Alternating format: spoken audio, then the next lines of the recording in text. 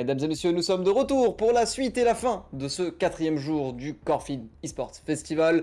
Nous arrivons sur la grande finale, first to two, hein, premier à 2, BO3 si vous préférez. Les deux équipes sont présentes. Hein. Nous avons eu les WR Vega qui se sont inclinés en demi-finale face au Andy Pyro Academy et donc c'est fameux Andy Pyro, vont affronter les euh, Virtolars, finalistes de la finale d'hier. Ils vont donc retenter de gagner ce soir et ils vont nous diriger immédiatement sur Icebox, première carte sélectionnée lors du ban. Exactement, encore une fois, Icebox qui est une map qui est, préférée justement par les Virtolars, puisque la dernière fois, c'était une, énorme victoire pour eux au tout début, au tout début du match. Donc est-ce que ça va se recommencer ici ou pas? On va savoir ça tout de suite si vous préférez choisir en attaque. Et à la fin, va partir du coup sur The Jet. Il n'y a pas qui change. Carries aussi sur la Killjoy.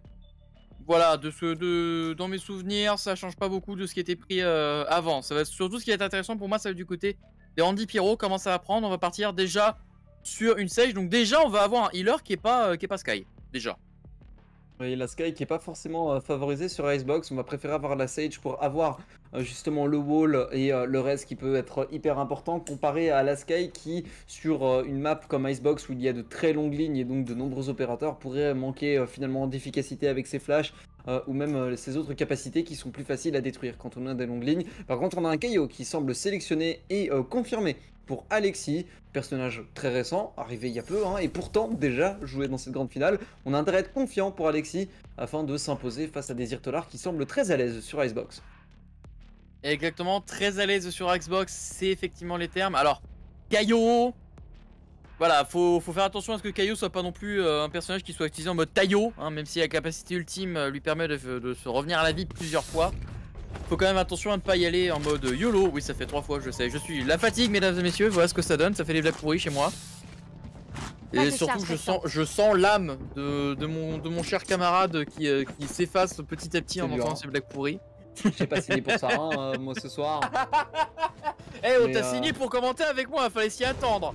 Fallait s'y attendre, mon cher dame. Ah, la prochaine fois, je ne signerai plus, hein.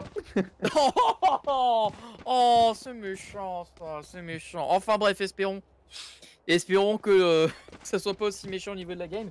Puisque comme j'ai dit auparavant, euh, la dernière fois que les, euh, que les équipes des Irtolan étaient justement bah, sur Xbox, c'était eux qui remportaient avec une grosse marge. Et on va voir, on va voir directement cette équipe attaquante hein, pour l'instant les Irtolar qui semblent se masser en A et qui sont déjà très bien accueillis à la fin qui n'a rien pu faire. Et éliminé par Zoori sur une jet derrière bon ici de la part de la Jet qui fait un double kill notamment avec un headshot, Viperi qui a réussi à faire un headshot derrière, quadruplé de la part d'Ori. Là déjà ça envoie un signal comme quoi ça va pas se passer exactement de la même manière hein, que, que, hier du coup du côté et bien Désir Tolar donc maintenant euh, on va voir si on va devoir changer de méthode sachant que Ewek Ewek peut directement partir justement sur une euh, sur une arme un peu singulière on va dire ça comme ça J'aime bien la flexibilité pour l'instant qui est montrée par l'équipe euh, justement euh, des Andy Pyro Academy puisque Zori était sur Sova euh, lors de la demi-finale, Awake était sur Killjoy, Alexis était sur une Raze et on a changé absolument tout. Karka était même sur une Astra donc vraiment on a changé entièrement la composition pour finalement se retrouver avec d'autres personnages et il semblerait que ça, ne, ça, ne, les déstabilise pas plus que ça. On va remporter déjà deux duels, on est déjà en 5 3 pour la défense et ils vont se montrer agressifs. Il ne reste maintenant plus personne un round rapide, on aura joué 15 secondes. Ouais, c'est, ça fait très très mal. On n'a même pas laissé le temps à l'attaque de savoir où est-ce qu'ils vont commencer à faire leur push. Ah, est-ce que tu sens que ça va être ce genre de game où la défense va avoir une puissance de feu incroyable et où l'attaque va se dire bon, on fait comment du coup? On sait par quel côté qu'on va se faire, euh, va se faire éliminer en premier. Là, le A, le B ou le middle? Roger, c'est toi en train de résumer la game d'Asson qu'on a commenté juste avant, où c'était un peu ça, la défense euh, de chaque côté était finalement très solide. Euh, et c'est les attaques de deux équipes qui avaient galéré, même si finalement, du coup, c'était celle des Andy Pyro qui avait euh, réussi à s'imposer un petit peu plus, suffisamment en tout cas pour l'emporter. là maintenant, en tout cas, l'attaque semble de nouveau se masser en A. On va envoyer le drone pour le Soda afin de débloquer le moindre adversaire. Forcer d'ailleurs cette Reina à redescendre, mais. Ah oui, il a pas envie de descendre, mais au contraire, il va même prendre le duel et faire l'élimination sur Caris. Effectivement, très belle élimination ici, 4 contre 5, ce qui du coup retarde en tout, encore tout petit peu cette attaque, qui est très important, sachant que derrière on a la Sedge qui permet de faire les attaques au niveau de backline, même si derrière Awake et se tous les deux éliminés. On a le soutien justement du Caillot d'Alexis. Il ne reste plus que la Viper ici qui malheureusement se prend une tête, elle n'a pas pu faire les dégâts escomptés. Et du coup, du côté d'Alexis, on récupère la Vandale alors qu'il n'avait pas fait ses tâches auparavant. 3 à 0 avec une énorme avantage économique pour la défense. Euh, aïe aïe aïe aïe aïe, les Tolards ont l'air d'être en difficulté. Là, pour l'instant, on est en train d'enchaîner les victoires pour la défense qui n'a pas vraiment été inquiétée jusque-là. Premier round facile, deuxième round expéditif. Et là maintenant, même si on a perdu quelques membres, on avait quand même un avantage assez conséquent euh, durant toute la durée de ce round. Donc euh, on n'est pas plus inquiété que ça. La défense semble solide et l'attaque a du mal à réellement prendre de l'espace. On est très rapidement accueilli et on perd les premiers duels qui donnent l'avantage par la suite à la défense. Là maintenant, on va par contre remporter ce duel. C'est ici qui fait l'élimination d'une seule balle directement dans la tête. Mais Vilperi, encore une fois très agressif, aura avancé en plein mid pour faire le doublé. On fait le doublé, en plus on réussit à faire d'énormes dégâts sur Yalner, Viperi qui évite justement ce dégât. Et du coup on va faire une rotation assez agressive ici, du côté de ce, de ce malheureusement ça ne passera pas et du coup la défense ici qui se permet hein, de faire des ouvertures pareilles, bah ça donne un début assez compliqué du coup pour les Irtolars qui se prennent pour le moment une grosse tollée. Hein. Mais pour l'instant, euh, les, euh, les qui euh, semblaient solides. Hein. Tu m'avais dit sur Xbox, ça va être rapide à leur avantage, et pour l'instant, bah, pas du tout. Ouais, ouais c'est bon, la Caster mais... on connaît. voilà, la Caster ça va même d'avoir commencé, commencé à diffuser. Eh bien, on pensait à une victoire des, des et pas du tout pour l'instant. Ils sont menés 4 à 0 et n'ont pas vraiment eu l'occasion de montrer leur talent, ni même, je dirais, montrer le mérite qu'ils avaient à arriver en finale. certes, ils ont fait un bon parcours jusqu'à maintenant, mais ils ne sont pas encore réellement rentrés dans cette finale. Ah, ils sont pas encore entrés dans cette file. À la fan, cependant, qui s'est pris le couteau, qui du coup ne peut pas utiliser ses capacités pendant quelques instants. À la fan, du coup, qui essaie de voir s'il peut pas. On a quand même récupéré l'orbe du coup pour ses alliés. Ça, c'est quelque chose qui est très important. On garde la killjoy hein, de Caries en angle mort. Attention cependant, et Toricolaire Viperi va avancer lentement sûrement, mais du coup n'a pas pu regarder Caries pendant ce temps-là. Ogezoul qui réussit à faire un headshot, du coup on s'installe au niveau du point B et à la fin qui réussit à faire le headshot. On va peut-être pouvoir remporter ce premier round hein, pour cette équipe. Est-ce que ça pourrait faire travail On installe le mur de, de Sage pour pouvoir justement porter le spike? Cependant on a déjà perdu à la fin, du coup ça va être un 3 contre 2. C'est possible, mais attention quand même parce qu'on peut, se, on peut se faire avoir à la retech. On est en train d'avancer rapidement maintenant pour la défense, le mur de Sage qui va bloquer un petit peu euh, cette défense et les obliger à se montrer un petit peu trop. Always good sur ce Sage va prendre l'information, prendre même le duel et euh, Awake ne pourra rien faire non plus face à G-Laner et on va s'en débarrasser. Les euh, défenseurs s'inclinent pour la première fois dans cette partie de Icebox 4 à 1. On réduit un peu l'écart pour les joueurs euh, des euh, et ils ont maintenant une possibilité de remonter au score puisque leur économie leur permet d'avoir des armes dont un opérateur pour la jet de Alafan. Alors déjà qui est important, ce n'est pas leur économie hein, qui leur a permis de pouvoir prendre l'opérateur, c'est tout simplement un opérateur qui était déjà drop par leur round précédent, justement c'était les bails des défenseurs qui ont, qui lui ont causé ce, qui ont causé cette perte. Donc euh, à la fin lui il est très content. La jet a droit à un opérateur, donc là il va falloir faire attention à la Viper puisque du côté sur ça peut, ça peut causer la mort. Zori qui va utiliser, euh, qui va sortir les kunai alors que la fan va essayer de prendre le duel sur cette longue ici. Attention euh, de ne pas se faire avoir justement euh, par la Viper qui a préféré reculer. Par contre Zori va prendre le duel hein, rapidement sur Karies qui est un petit peu tout seul en A, qui voulait justement bloquer la rotation mais n'a pas réussi à se faire puisque il était très bien par cette jet. Là par contre Korka va se faire avoir par Always Good. Très bon timing ici de la part de l'attaque. Attends, très bon timing ici de la part de l'attaque, alors qu'on a encore une petite attente hein, du coup du côté de Ori, on ne sait pas si on doit décaler ou pas à cause de la tourelle. Cependant, le problème c'est que de l'autre côté, eh bien, euh, les mouvements se font déjà. Victory qui réussit à faire un hit good. On va essayer de voir si on peut euh, continuer encore tout petit peu, sachant que le Spike, encore une fois, est tombé en l'avantage de cette défense. Surtout que la Reina est juste à côté ici, Awake. A justement cet angle, on a la Jet de Alafan qui essaie de voir s'il peut pas trouver euh, le bon angle, trouver le bon moment hein, de la bonne décale. Attention à la hauteur, oui, on réussit à avoir Victory. Bon travail. 3 contre 3 maintenant. Cependant, l'avantage est toujours à la défense, étant que le Spike n'est pas encore planté. Mais on l'a quand même récupéré hein, avec le Sova de Leyaner. Maintenant, faut le planter.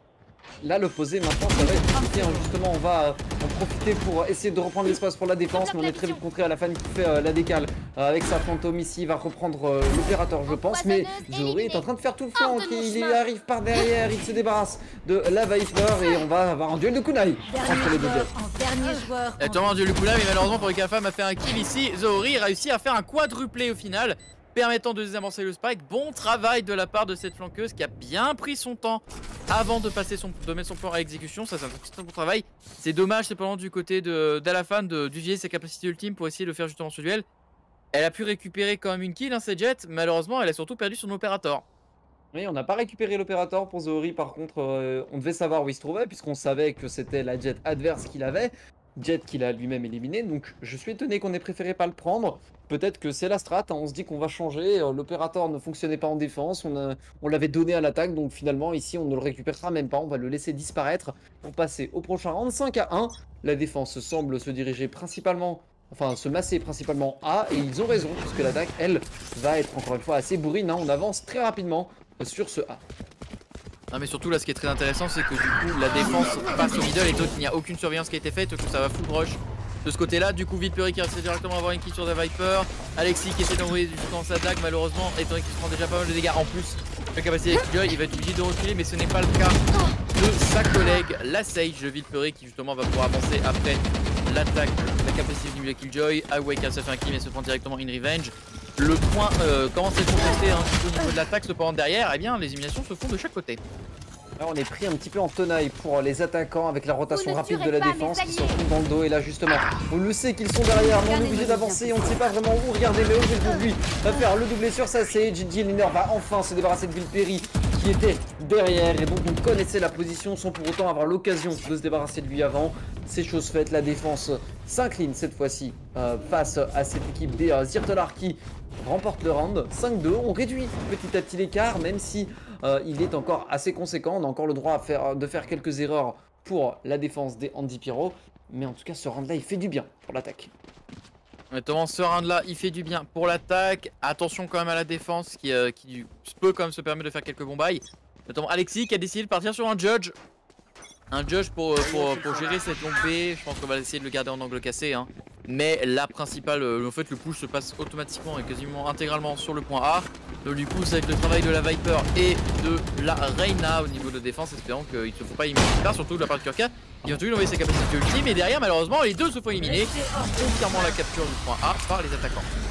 Zegmis qui n'a pas le temps, hein. il avance avec son judge en plein milieu du nuage de gaz adverse et il va faire les éliminations double one shot euh, et ensuite il va utiliser son propre nuage afin euh, de bloquer toutes les lignes et permettre à son équipe de poser le spike. Les Irtolars sont à l'avantage numérique et surtout à l'avantage du terrain, hein. toutes les lignes sont bloquées, il y a un mur de C, euh, le gaz absolument partout, difficile de reprendre de l'espace, le KO de Alexis va avoir du mal à avancer sur la hauteur alors que Bilberry se fera récupérer, mais Alexis fait l'élimination sur Kyries, tout est possible.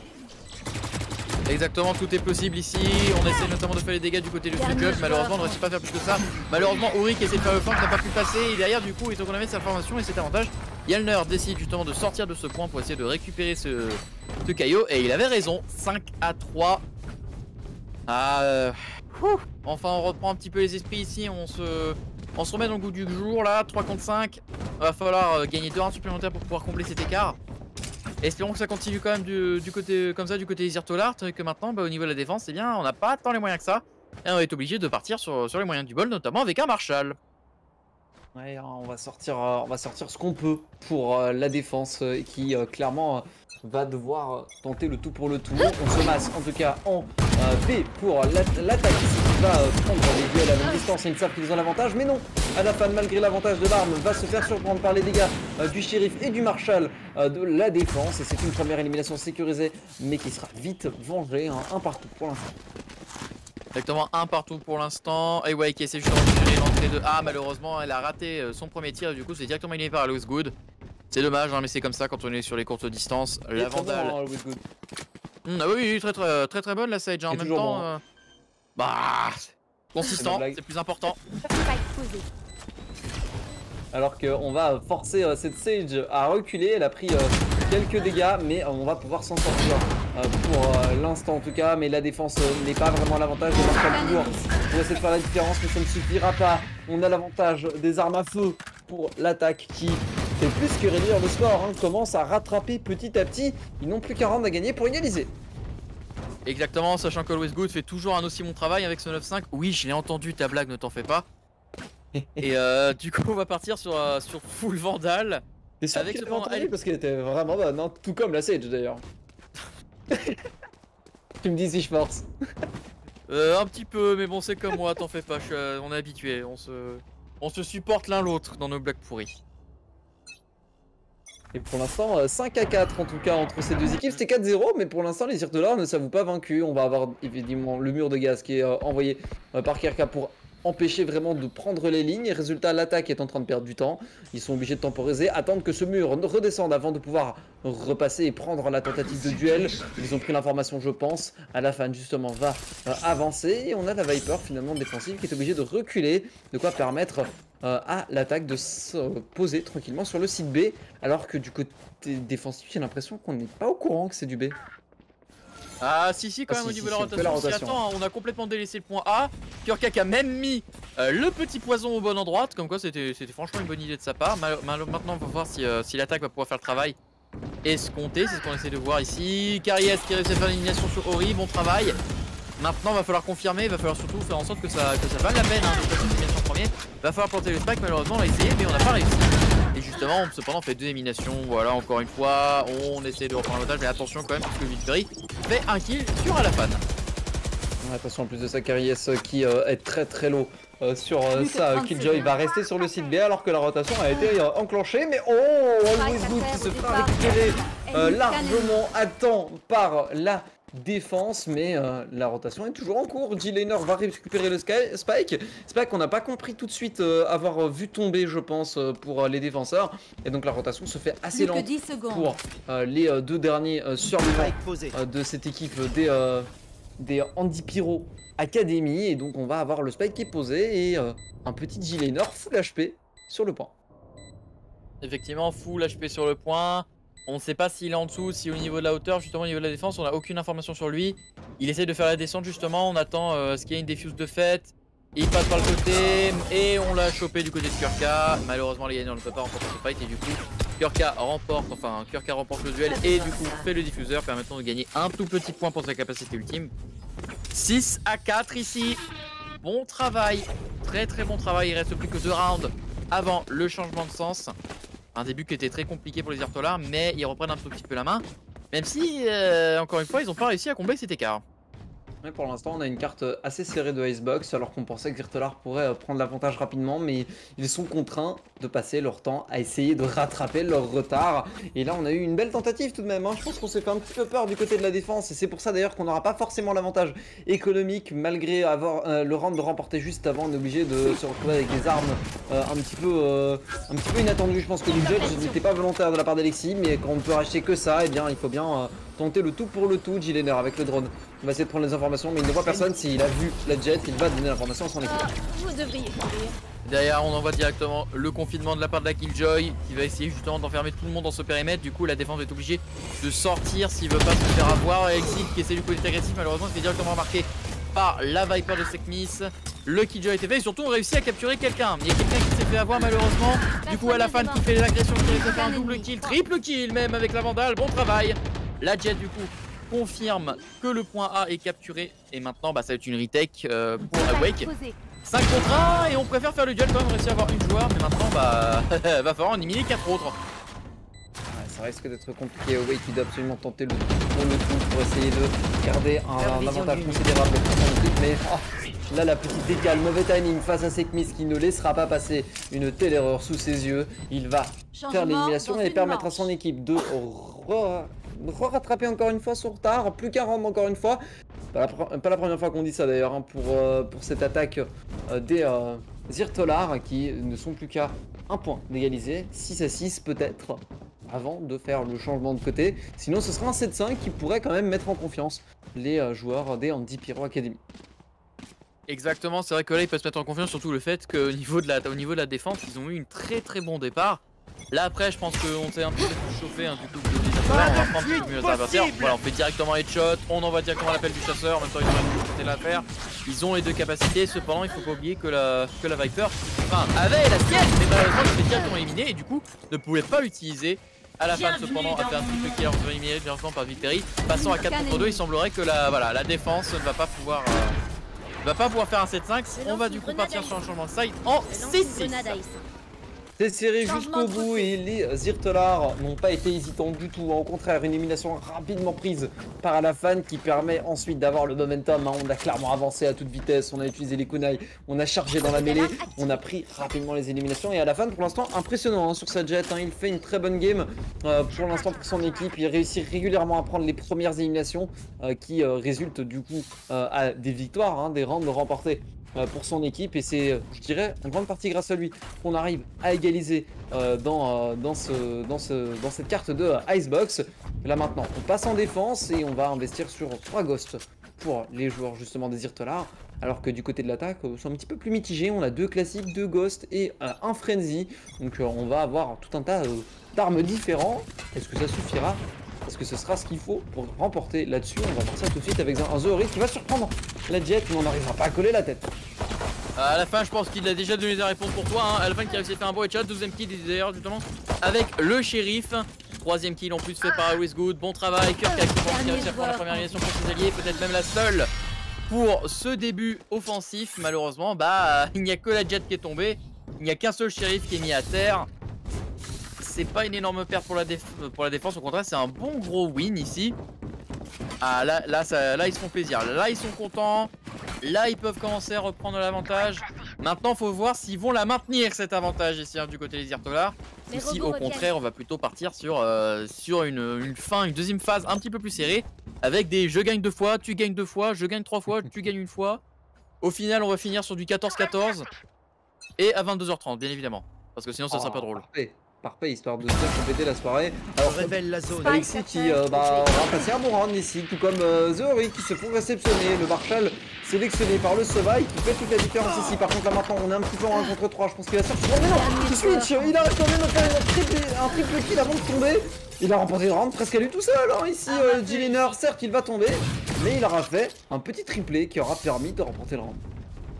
Ah, effectivement, le Marshall ici a fait d'énormes dégâts. Un Marshall qui a prouvé encore une fois ses résultats. À tel point d'ailleurs qu'on va le passer du coup à fin le meilleur joueur de l'équipe au niveau des statistiques, 14-12. Bon travail, très très bon travail en fait. Un mouvement qui était très très clutch. Ah, surtout, le bon réflexe de partir après sur son arme secondaire pour pouvoir faire un headshot, ça c'était bien vu. Puisque sinon, bah, faut pas oublier que, que le problème avec le Marshall, c'est que ça se recharge balle par balle et non pas par chargeur on va essayer euh, de passer par le mid j'ai l'impression en tout cas pour Zehori qui euh, va essayer de surprendre l'équipe adverse. Hein. On change de stratégie, Zehori qui va avoir un duel à prendre avec Karies, mais on l'avait pas vu, il maintenant se fait repérer. Karies est revenu, mais ça ne lui permettra pas pour autant de remporter son duel. On a l'avantage maintenant 5 contre 4 euh, contre 3 pardon, puisque c'est Cliss équilibre un petit peu les choses. Alexis un peu hésitant ne prendra pas l'élimination. Always Good était bien placé, fera le doublé. Un très très bon travail au niveau de la distance ici hein, de la part de ce Miss avec le shérif qui fait plusieurs éliminations derrière. On essaie de voir si on peut continuer. On n'a pas réussi à récupérer. Cependant, Awake a réussi à récupérer le spike. Personne qui est planté sur le point A. Du coup, Awake, s'il peut, euh, si, elle veut, la reine peut partir directement sur le point et planter. C'est ce qu'elle va faire. Il doit absolument courir, mais il ne le sait pas qu'il n'y a personne sur A. Donc il perd un petit peu de temps et ça permet justement à la défense d'initier la rotation euh, nécessaire afin d'aller sur le site. Euh, pourquoi on tire d'ailleurs du côté d'Always Good euh, On essaye peut-être de faire paniquer euh, l'Arena Mais euh, pense, du coup, eh bien, Je pense qu'on va faire, paniquer à planter au A. On, va faire une rotation complète en B. On a tout le temps Il a 30 secondes Plus que 30 secondes. Ah, on a 30 secondes, mais le problème c'est que justement, bah, l'effet de surprise disparaît lentement mais sûrement, étant donné que du côté de Sekmis et de, de Always Good, eh bien on se dit, hmm, ça a peut-être planté en B ici. Faudrait qu'on aille vérifier quand même. Et oui, ça a planté en B.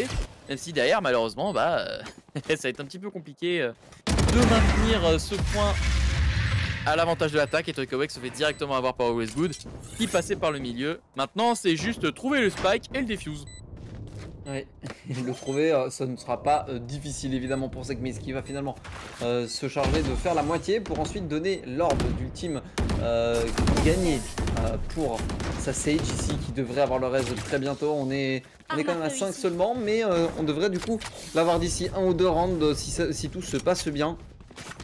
Alors qu'on on est en train de prendre l'avantage, hein. c'était 6-6 au moment du changement de side et là sur la défense, les Irtelars sont il semblerait impitoyable. Trois rounds remportés d'affilée, ils ont un avantage économique conséquent, alors que leurs adversaires, les euh, Andy Pyro Academy, sont obligés maintenant d'économiser. On aura quand même investi un tout petit peu, mais on peut pas se permettre de faire beaucoup plus, Ici. et on a quand même un avantage énorme pour la défense.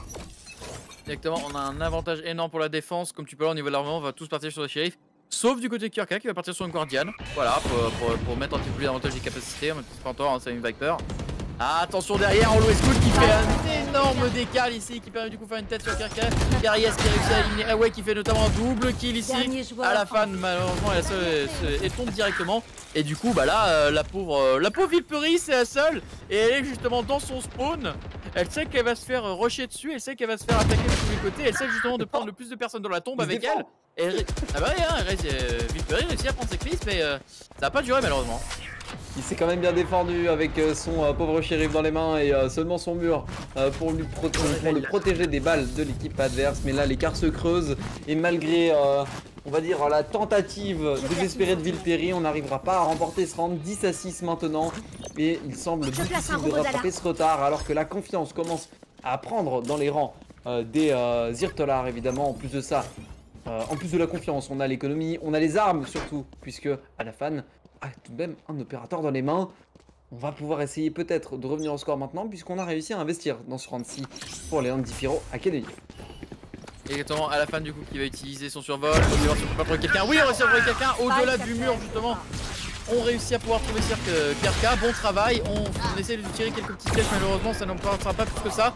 On réussit à prendre une revenge, très bon travail, on à faire triple kill et à la fin cependant, réussit à faire un headshot sur Ziori. Malheureusement, bah, le point A est quand même euh, contenu par cette attaque. En plus, c'est vrai qu'il réussit à éliminer à la fin, éliminant au passage l'opérateur. Il ne reste plus que Sekmis. Est-ce qu'elle va pouvoir, euh, est-ce qu'elle va pouvoir faire des dégâts Malheureusement, non. Et enfin, on va pouvoir reprendre un point après ce loose streak énorme ici. Maintenant, euh, ils ont cassé le loose streak, mais faut pas, faut pas revenir dans un loose streak juste après. Ouais, on avait perdu 6 rounds d'affilée et on a enfin réussi à reprendre un petit peu du poil de la bête pour les Andy Pyro Academy. Cependant, cependant, même s'ils remportent le round, leur économie n'est pas forcément au beau fixe. Je vois Zouri qui va préférer garder un ghost uniquement et sans doute sortir les kunai dès le début du round. Alors que pour Alafan qui avait perdu un opérateur lors du round précédent, eh bien il avait assez d'argent pour en investir un nouveau. Comme quoi, niveau économique, la défense après 6 victoires d'affilée est plus que confortable. Par contre, la flash qui était passée, mais à la fin n'arrivera pas à Il va être sauvé par RG Lane.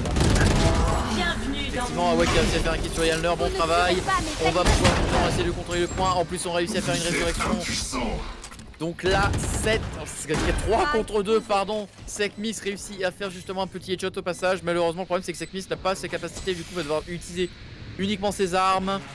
Ça va être un peu plus compliqué ici pour essayer d'avancer en confortablement. Cependant, Kurka qui réussit encore une fois à faire des damage avec ce Judge des enfers. En plus, il dans, sa capacité ultime. Du coup, il est impossible de rentrer dedans sans avoir forcément un énorme désavantage technique. Essaie justement d'utiliser euh, ses grenades au mieux possible, essayer de tirer à travers le mur. Malheureusement, va falloir rentrer pour commencer à faire du diffuse. C'est un petit peu perdu en plus. On a vu Zori balancer des kunai euh, sur, la Viper de son équipe. hein, euh, alors que Kerka est toujours à l'intérieur de ce nuage de gaz. On n'arrive pas à trouver euh, l'élimination possible. Et on va être obligé de concéder ce round. Sekmis tout seul en vie aura réussi euh, à. pardon, pas, pas pardon. Les deux attaquants ont réussi à temporiser suffisamment dans le nuage de gaz. Et Zori va tomber. Sekmis fera quand même un petit kill malgré le round perdu.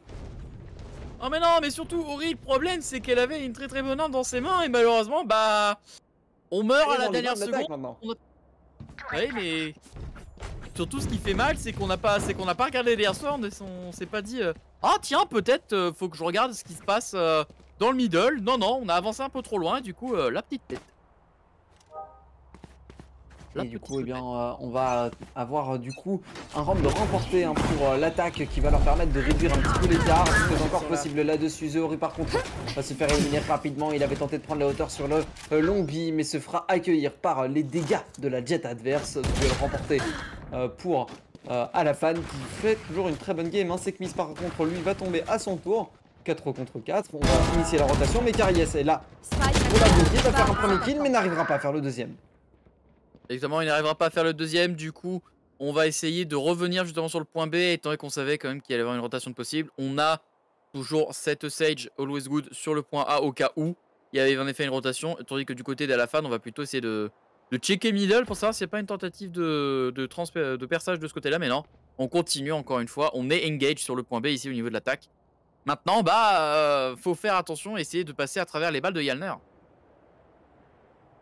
Il va y arriver. Il a, il a seulement une fantôme. Hein. Et là, pour le coup, c'est des longues lignes quand même s'il veut tenter une décale. Alors qu'il y a justement cet opérateur dans les mains d'Alexis euh, qui, lui, est déjà bien placé. Il a la vue sur le site. Il va utiliser euh, ses capacités pour détecter les adversaires. Mais il ne trouvera personne. On n'a pas l'information. Et donc, on va pouvoir planter. Et justement, Gilenor, qui n'avait pas été repéré, va prendre l'élimination sur Away. Ah malheureusement ici la flash a été prise et cependant il a été sauvé. Alors qu'Alexis avait son point de vue il a été sauvé justement par la fan. Merci la jet de venir sur son sur, au passage. Pas de problème. Pas de problème mon ami ça fait toujours plaisir. Du coup on prend le point et en échange en échange de bons procédés justement on, lui passe euh, l'opérateur ça, ça c'est de l'amitié ça dans les équipes. Je te sauve la vie je te passe une opérateur ah franchement le trade le trade les vaut hein, très clairement euh, franchement, euh, tu, te retrouves à donner un opérateur, ça va. Si, si ce n'est que pour ta vie, je te donne l'arme que tu veux. Hein. Et clairement, très bon play en tout cas d'Alafan qui aura été le véritable héros de ce round. Puisqu'on avait un Gilener complètement en panique à cause de la flash. Évidemment, il ne voyait plus rien. Il devait mourir et finalement, non. Plus dans le classique qui euh, finalement donne suffisamment de temps à Alafan pour le sauver. Là, par contre, on est en train d'attaquer rapidement A euh, pour les joueurs des Andy Pyro Academy. Ils vont prendre de l'espace rapidement à coup de Judge. Zori qui va chercher à prendre un bon gros one shot rapidement. Exactement, on a réussi à planter le spike, cependant maintenant c'est une question de retake. Et alors qu'on a la Viper qui est en train de faire un long voyage pour essayer de passer derrière, Yes envoie justement sa capacité et on réussit à capturer deux joueurs. C'est le moment où on va pouvoir éliminer Alexis derrière. Est-ce qu'on va essayer de voir si on peut éliminer la deuxième Malheureusement non. Et derrière Ori avec notamment son jeu qui permet de faire une élimination. Elle essaie de voir si on peut pas rentrer dans le tas. Il réussit notamment à éliminer Shoot alors qu'elle était complètement aveuglée. Yalner réussit à faire un jump sur le judge en train d'éliminer. On essaie de voir si on peut lancer la deuxième phase. Malheureusement, on se fait à chaque fois cancel. Il ne reste plus qu'une seule personne. Il va falloir essayer de faire un diffuse le plus rapide possible. On essaie de le faire, sachant qu'on avait plus de. Malheureusement, le poison a été mis sur place. Maintenant, c'est une Viper contre Viper. C'est Miss réussit à faire l'élimination. Est-ce qu'il va pouvoir diffuser au bon moment? Oui Heureusement que la moitié du spike avait déjà été désamorcé, sinon jamais on n'aurait porté ce round, on aurait manqué de temps pour Sekmis qui reste le dernier en vie. Le poison était bien placé hein, justement pour empêcher la diffuse totale, mais heureusement que Sekmix remporte son duel à la fin pour être là afin d'assurer la diffuse finale. Euh, on est en 12 à 8 maintenant pour les joueurs des Zirtolar. Ils perdaient 4 à 0 et finalement ils sont en train de mener 12 à 8. Tout est possible et ils pourraient même remporter cette première carte alors que c'était si mal parti. Exactement. Maintenant, balle de match pour cette équipe qui va peut-être pouvoir remporter ce premier point sur cette map d'Icebox. Pour vous rappeler qu'on est en BO3, donc même s'ils remportent ce match-là, ils ont cette carte-là, ils ont encore une autre carte à faire. Et là, par contre, la défense être un petit peu en problème euh, du côté de Louis Good parce qu'elle est un petit peu toute seule face à un assaut de tout, de tout le monde. Seul contre le monde, seul contre ses adversaires. Est-ce que ça va pouvoir se dire on est très agressif sur ce site A, on va prendre l'espace rapidement et on a un petit peu euh, surpris la défense qui ne s'y attendait pas forcément, même si on a ici une rotation pour la Jet et la Kidjoy qui vont arriver rapidement dans le bac alors que c'est compliqué. est à la recherche d'un duel, il va faire tomber le spike, j'ai pas compris pourquoi il prend duel et il va euh, tomber tout comme Alexis juste après, Sekmis va permettre à son équipe de remporter la carte. 13 à 8, Icebox part dans les mains de Zirtola. Exactement, Zirtola ici qui remporte cette carte. J'avais prédit qu'il allait le remporter. Mais je m'attendais pas à ce que ce soit aussi serré. Pour être ils honnête, menés 4 à 0, hein, on, les, on les voyait vraiment pas, pas l'emporter. Ils étaient pas rentrés dans, la, dans, leur match. Ça se voyait que niveau plan de jeu, etc., ils n'arrivaient pas à faire ce qu'ils voulaient. Ils étaient surpris, dépassés par euh, les Andy Pyro Academy. Et puis, la remontada, elle est belle hein, quand même. Ah ouais, là, elle est très très belle. Du coup, 8 à 13. On part avec un avantage certain du coup du côté des Zirtolar. Maintenant, faut voir ce que ça va donner après. Sur la suite. Puisque, bah, encore une fois, c'est pas terminé. On va être en 2v3. On va partir du coup sur de la bind. On a quand même une petite, euh, une petite pause de quelques minutes. Une minute et demie, je pense, deux minutes, euh, qui est demandée du coup du côté euh, d'Alafan. Voilà, c'est rien. On va faire une toute petite pause et la prochaine carte, du coup, ce sera bind. Donc on se retrouve, bah, comme ils l'ont dit, d'ici deux petites minutes.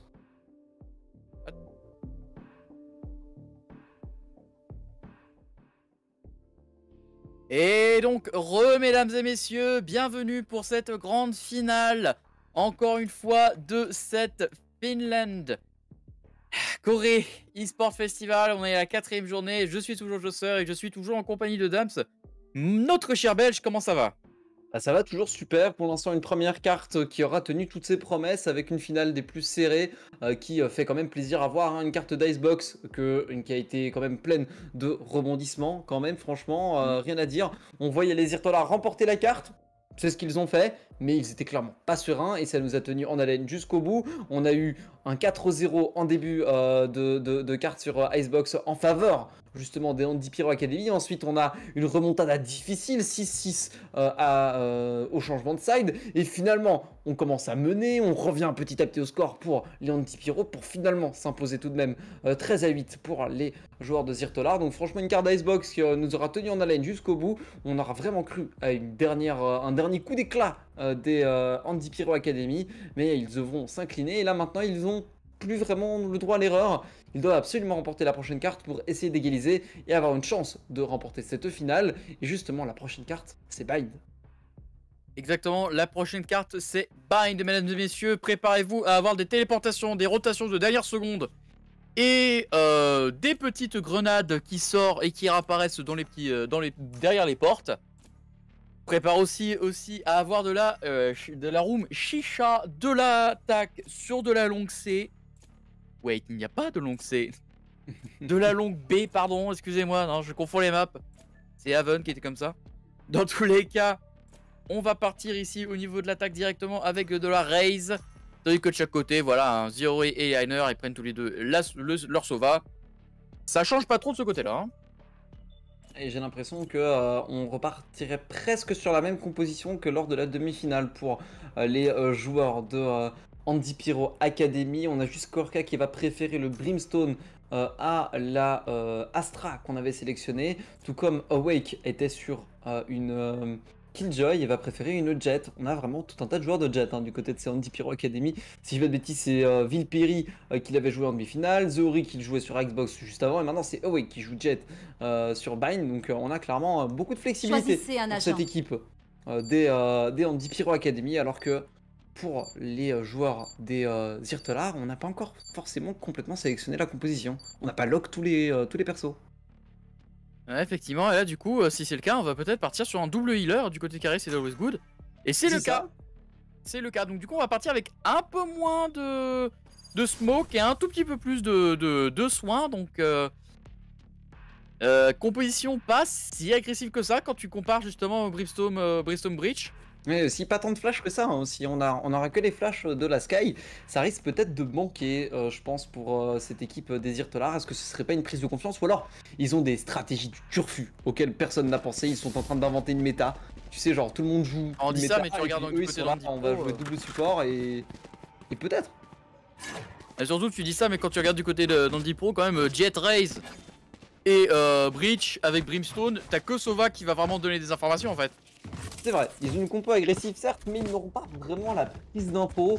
Donc euh, ça risque peut-être de manquer. On a deux compositions assez, euh, bah, je dirais pas forcément bancales, mais assez étonnantes en tout cas euh, sous mes yeux pour cette, pour cette finale de, de, ce quatrième jour de l'accord Fini Sports Festival. Donc bon, on va voir. Peut-être que les deux équipes ont vraiment des stratégies à nous proposer sur, cette, sur ces compositions. Du moins je l'espère. Encore en finale, s'il n'y a pas de stratégie spéciale avec ces compos, je suis hyper... En effet, tu toute raison d'être perdu. On passe directement au côté bathroom. On s'éparpille pour essayer de voir justement où est-ce qu'on peut avoir. Euh, où est-ce qu'on peut choper ce petit détail. Surtout en Villepéry ici, Camille, Camille le flash directement. Malheureusement, il fait directement ligne par la fan. Deux coups de Magnum et c'est fini ça commence bien en tout cas pour euh, l'attaque là-dessus. Euh, pardon, pour la défense, pardon. On prend pour la défense, oui, non, l'attaque ça passe pas plein mid. Oui, ça se passe pas très bien en effet. Euh, en plus de ça, le spike est toujours posé au sol, donc on est obligé de faire la rotation pour le Brimstone ainsi que pour la Jet. Alors que en plus de ça, Zori va se faire récupérer par Karies. Donc on a clairement un avantage conséquent, 5-2 là pour l'instant hein, en termes de survivants. Donc bah la défense. On a Always Good ici qui, qui, a fait tout le tour de la carte jusqu'à maintenant sans vraiment repérer qui que ce soit. Il s'est baladé depuis le début. Il s'est baladé depuis le début. Cariès ici qui fait un double headshot derrière, menant du coup un quadruplé. Bon travail de la part de cette Sky qui prend encore une fois que le ghost peut être meurtrier. Et là, là, là, je la reconnais, là. Là, je la reconnais. Là, j'ai une impression déjà vu comparé à hier. Là, je reconnais ces petites équipes des Irtolar qui, euh, qui est capable de d'imposer leur puissance de jeu. Surtout qu'il y en a voilà, qui va peut-être repartir sur un Marshall. Est-ce que tu sens les têtes euh, Est-ce que tu sens les petites têtes au Marshall no scope? Tout est possible, on a déjà vu quelques-unes, surtout lors de la demi-finale, hein, ça touchait plutôt bien euh, au Marshall pour euh, l'équipe des euh, Andy Pyro Academy, alors que pour la défense, là maintenant, on- évidemment, on a profité de, de prendre de l'avantage, on a quand même fait quelques économies pour Alafan qui n'a pas vraiment investi à partir d'un shérif, il a préféré garder un petit peu d'argent pour lui, alors que c'est Chris lui, bah, va faire le doublé rapide, va suivre sur son gosse, alors on charge une potentielle cible et euh, il ne pourra pas se débarrasser de Perry, mais c'est Go du coup, qui d'une seule rafale fera un triplé. J'ai une impression déjà vu parce que ça c'était déjà arrivé aussi hier d'avoir eu euh, plusieurs éliminations en une seule rafale de, de, de spectre. C'est, attends, on est quel jour? On est quel jour? On est bien jeudi. En effet. Ok, c'est bon, je suis pas, je suis pas dans une matrice. Je suis pas dans la matrix, je suis pas en train de, de revivre le même jour en boucle. le- Non, c'est bon. Mais euh, c'est vrai que là, il monte quand même une très très bonne puissance. Et là, double Marshall. Double plaisir sur le long terme.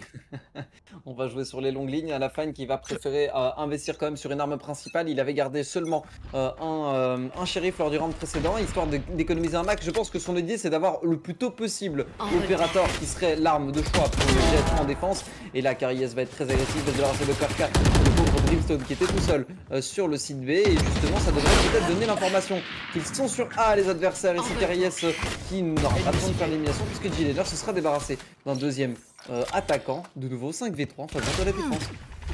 Ou directement qui prend une tête pendant qu'il te fait des strikes sur, le- sur, sur longue distance, ça fait pas tant dégâts que ça. Mais Westwood réussit quand même à faire l'élimination, double kill ici.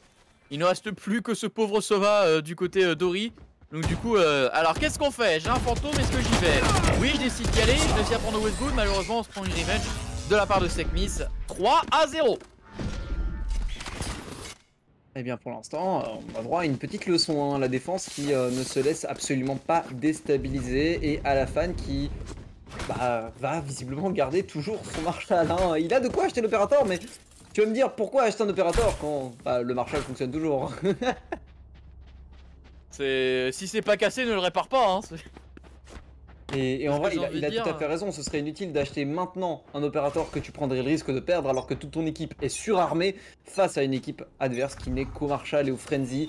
Euh, pour euh, les euh, Andy Pyro Academy, on commence à enchaîner les difficultés et l'écart se creuse. Ah, ce plan derrière, très bon travail ici. Il a essayé de faire un headshot et ce plan, bah, à la fin, ici, il fait du no-scope, triple no-scope. Attention, triple no-scope. Spike Le. Marshall, le Marshall, la puissance du sniper.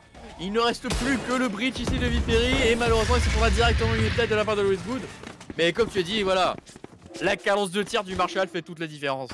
On parlait de ce Marshall en se disant ouais il aurait peut-être pu prendre un opérateur ou même une autre arme qui lui permettrait d'être plus efficace mais en fait à la fin le, euh, à la fin et le Marshall oh, c'est une histoire d'amour euh, qui clairement euh, fonctionne plutôt bien hein. ici il fait un triplé quand même dans le round précédent donc rien à dire à la fan toujours aussi impressionnant franchement pour moi c'est l'un des joueurs les plus constants de cette finale hein. Il fait vraiment une, a fait une très bonne carte d'Icebox où il remporte de nombreux duels cruciaux pour son équipe et là ensuite bah, il fait ça au Marshall qu'est-ce que tu veux? Il y a rien d'autre à dire, il est juste trop fort. Je révèle la zone. Directement, directement au niveau de la défense, on essaie d'être agressif au niveau de la longueur qui permet d'avoir directement Ori Sovan Kiorka fait réussir à prendre la revenge ici. On a cependant récupéré l'orbe hein, de la part de ce Sova. Et du coup on va essayer de garder l'angle cassé mais le problème c'est que justement on va se faire full push. On a l'information cependant en défense hein, justement qu'on se fait attaquer de ce côté là. Yalner qui essaie, euh, qui essaie justement de, de rester derrière cette smoke en attendant que les alliés arrivent parce que ça va jouer sur de la au niveau de cette défense. hein. On va réussir enfin pour la première fois je pense euh, de ce side d'attaque à poser le spike et euh, à le planter évidemment euh, pour l'attaque. Maintenant on essaye de retake, on est coincé tous à l'intérieur de ce CT hein, pour euh, les euh, défenseurs. Ils vont essayer de reprendre de l'espace et justement avec l'opérateur c'est une chose facile, on tient la ligne maintenant. Difficile maintenant pour reprendre l'espace pour les attaquants qui ont été euh, repoussés hors du point. Attends, ils ont été repoussés hors de points. Cependant, on a encore une fois le bridge qui peut faire une secousse, qui réussit à éliminer Olisboon et Yalner. Cependant, à la fin, il a réussi à faire un tir avec son opérateur. Malheureusement, ça ne passera pas plus loin. Et à la fin, il est très très low face à deux joueurs. Il ne pouvait pas retirer derrière. Et du coup, on perd cet opérateur qu'on va récupérer, je pense. Voilà, on va la récupérer ici hein, de la part d'Awake. Et en même temps, on avait raison. On avait que, on a commis 400 crédits. On pouvait même pas se permettre d'acheter l'opérateur et autre chose. Et on a enfin réussi à remporter un round et un petit peu un scénario qui se répète. Hein. C'était 4-0 pour Andy Pyro lors, du lors de la carte précédente et ils l'ont finalement perdu 13 à 8. Est-ce que là maintenant ce serait les joueurs de... Euh, pardon. Euh, de... Euh, de Zirtelar qui remporte 4-0. Désolé, j'ai perdu mes mots, c'est terrible. Hein. Gros, grosse coupure du cerveau, là, clairement.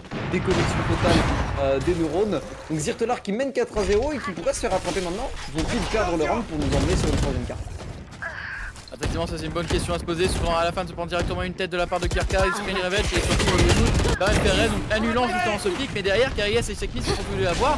En plus, d'ailleurs, on a le bridge qui a envoyé sa capacité ultime qui a essayé de pousser pour un push directement au niveau du point A. Ça réussit. Il ne reste plus ici que à la fan avec son opérateur. Ça paraît un peu risqué, opérateur contre opérateur. Attention, la arrive dessus. On essaie de tirer, mais malheureusement, on n'a pas pu. Et Awake prend justement cette ligne. Il ne reste plus que Yalner qui est derrière et cependant on a l'information du côté d'Alexis. Ouais, je pense qu'il a dû euh, soit l'entendre ou du moins on anticipe et on va réussir à l'avoir. Le bon timing pour cette décale. Alexis il n'avait qu'une chose à faire et il l'a fait à la perfection, c'est-à-dire coller une tête dans, euh, enfin coller une balle dans la tête de l'adversaire. 4 à 2, on rattrape le retard et on a perdu deux opérateurs d'affilée. L'économie de la défense, après 4 ans de remporté, commence à euh, bah, sentir un peu mauvais. Hein. On a euh, perdu énormément d'armes qui coûtaient très cher, qui met hyper bien l'attaque, mais du coup du côté de la défense, on a que très peu de choses dans les mains. On va être obligé d'utiliser les kunai comme arme principale pour à la fin. Exactement, c'est ce que c'est ce qui va sortir, à moins que le classique euh, fera des dégâts monstrueux. Voilà, on envoie directement les kunai en effet. On envoie aussi la fureur du chasseur ici pour essayer de voir si on peut pas trouver quelqu'un. Malheureusement du côté doré, on ne touchera personne. Maintenant attention, on envoie une revenge ici qui a été envoyée de la part de ses alliés qui là par contre touchera un petit peu plus de personnes. Et forçant justement la longue B à être euh, découverte malheureusement à la fin ici à faire dash mais ne réussira pas à faire la tête euh, nécessaire Alexis. Euh, le prenne cette tête et du coup bah avantage pour l'attaque même si euh, faut faire attention parce qu'on n'a toujours pas initié un véritable fight sur un, sur un, sur un point. Donc que la rotation, elle a été initiée depuis un petit moment et justement on vient à peine de le comprendre pour la défense. Résultat, Alexis avec euh, son, euh, son lance-roquette pourrait prendre une élimination rapidement et justement c'est chose faite. Il va tomber juste après empoisonné par cette mine. On s'entretue entre les deux joueurs mais on a réussi à prendre l'espace. Euh, la défense est finalement enfin sur le site mais le spike va être posé je pense. C'est interrompu je pense du côté de l'attaque. Ah, Yalner ici qui a fait un double kill avancement une ravage de la part de Ori, ce qui permet du coup d'égaliser 2 à 2. On a un opérateur de la part de Wake, est-ce que Wake va pouvoir faire les dégâts On a réussi à éliminer Ori. Enfin, Good a réussi à éliminer Ori, du coup il ne reste plus que la Sky qui met en flash Caries qui va pouvoir justement au moins mettre down cet apparateur.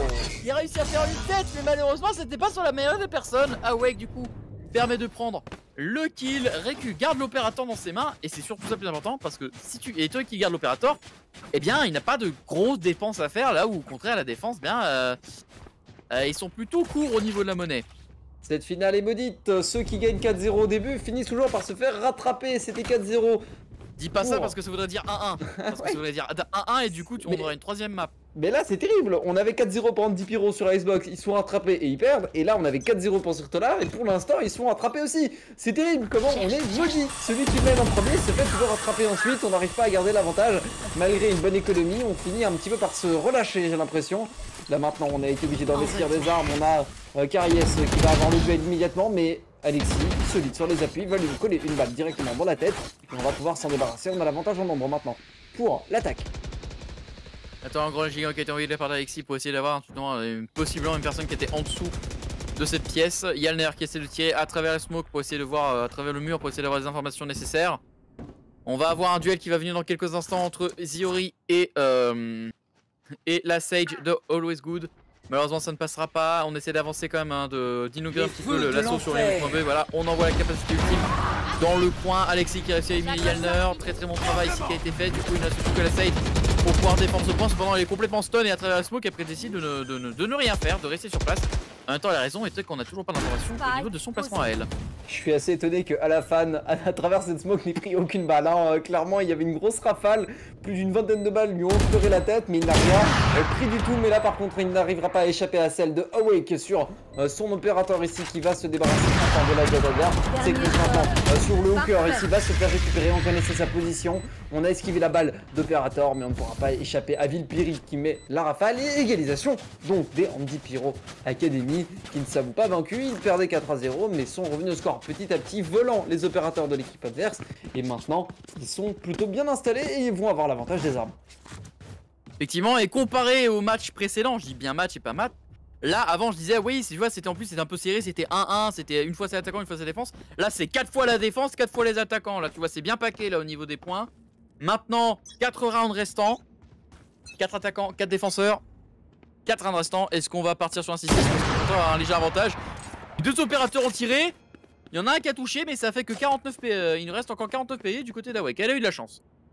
Ah, c'est pas un opérateur, c'est un Marshall, hein, faut pas l'oublier. Hein, euh, Awake qui du coup avait Ah oui, clairement l'avantage. hein, il fallait prendre un headshot pour euh, vraiment être en danger. Euh, mais on arrivera à s'en sortir à la fin. qui, Du coup, fait quand même une bonne opération à faire de lourds dégâts à l'un des joueurs les plus dangereux de l'équipe adverse. Mais Awake aura tout de même réussi à prendre une élimination sur cette miss. L'avantage de nouveau à l'attaque qui semble euh, s'avancer sur le point B. Et je suis pas sûr qu'on ait forcément l'information que toute l'équipe adverse se dirige sur ce point B justement. On est que deux en défense et on est obligé de concéder l'espace. En plus de ça, on les Exactement, Karies qui passe dans la smoke, qui envoie la flash ici pour tirer l'information. On a réussi à avoir plusieurs Karies ici, mais cependant on a pris l'information. Du coup, Viperi permet de prendre la revanche avant de pouvoir planter le spike. Et Karies, cependant, réussi à faire une élimination, mais se fait directement éliminer en river. Ça va être compliqué à la fin d'ici qui est de partir sur un shérif. Attention quand même, on a pas pu vérifier la smoke. On n'a pas vérifié ce qu'il y avait dans la smoke ici du côté de Lexi. Et du coup, on se fait directement éliminer. Cependant, Always Goody à la fin se font tous les deux à voir. Et là, pour une fois maintenant, c'est l'attaque qui a l'avantage pour ce premier side. Ils reprennent l'avantage, ils ont une énorme, une énorme gestion de l'économie. Voilà, et je vais dire, Alexis c'est la personne la plus pauvre et elle a 4300 de réserve. Là, euh, la défense, ils peuvent pas dire pareil. Hein. Ah, franchement, j'aimerais bien être pauvre comme lui, tu vois. Imagine, tu te dis, je suis pauvre, j'ai 4300 balles en trop. Dans la réserve. C'est dans la réserve, c'est ton fin de mois. Ah, c'est ton fin de mois Franchement, je vais pauvre comme lui. En plus, c'est ça, on a des ultimes si nécessaire. hein. On aura les kunai, on peut avoir euh, aussi euh, le tremblement de terre euh, de ville péril si nécessaire. Donc, on a vraiment tout et n'importe quoi pour prendre les éliminations. Mais à la fin, va tenir le long B. Karka est en train de s'en approcher, on le voit ici. Et justement, on a tiré entre les jambes, je crois. Effectivement, alors derrière on a quand même peu d'informations. On les voit qu'ils sont tous quand même bien tapés. Du coup, il envoie la furie du chasseur et il essaie de trouver justement une façon de les éliminer. On réussit à avoir euh, un kill du côté de Karies. Cependant, à la fin, de se fait reprendre des coups derrière. Karies, malheureusement, qui ici se fait complètement stun. Du coup, ne pourra pas faire plus de travail que ça. On initialise encore une fois le fight ici au niveau de ce, au niveau de ce point A. On va essayer de faire porter le spike. Aleski et euh, Awake qui réussit à faire une élimination chacun. Du coup, 2 contre 3. La, la situation se répète encore une fois. On s'est laissé un petit peu surprendre en fait pour la Viper qui était dans un mauvais timing. Là maintenant on arrive à prendre l'information avec les coups qui ont été envoyés. Karies qui va du coup prendre l'élimination, le Good aussi. C'est un rencontre 1 maintenant, il n'y a pas l'avantage des points de vie pour envoyer qui va tenter la décale. Mais Karies va réussir à finalement s'imposer. Dernier survivant de ce round, il va permettre à son équipe d'égaliser. Il va sans doute récupérer l'opérateur qui est tombé euh, dans l'opération justement. Égalisation 5 partout.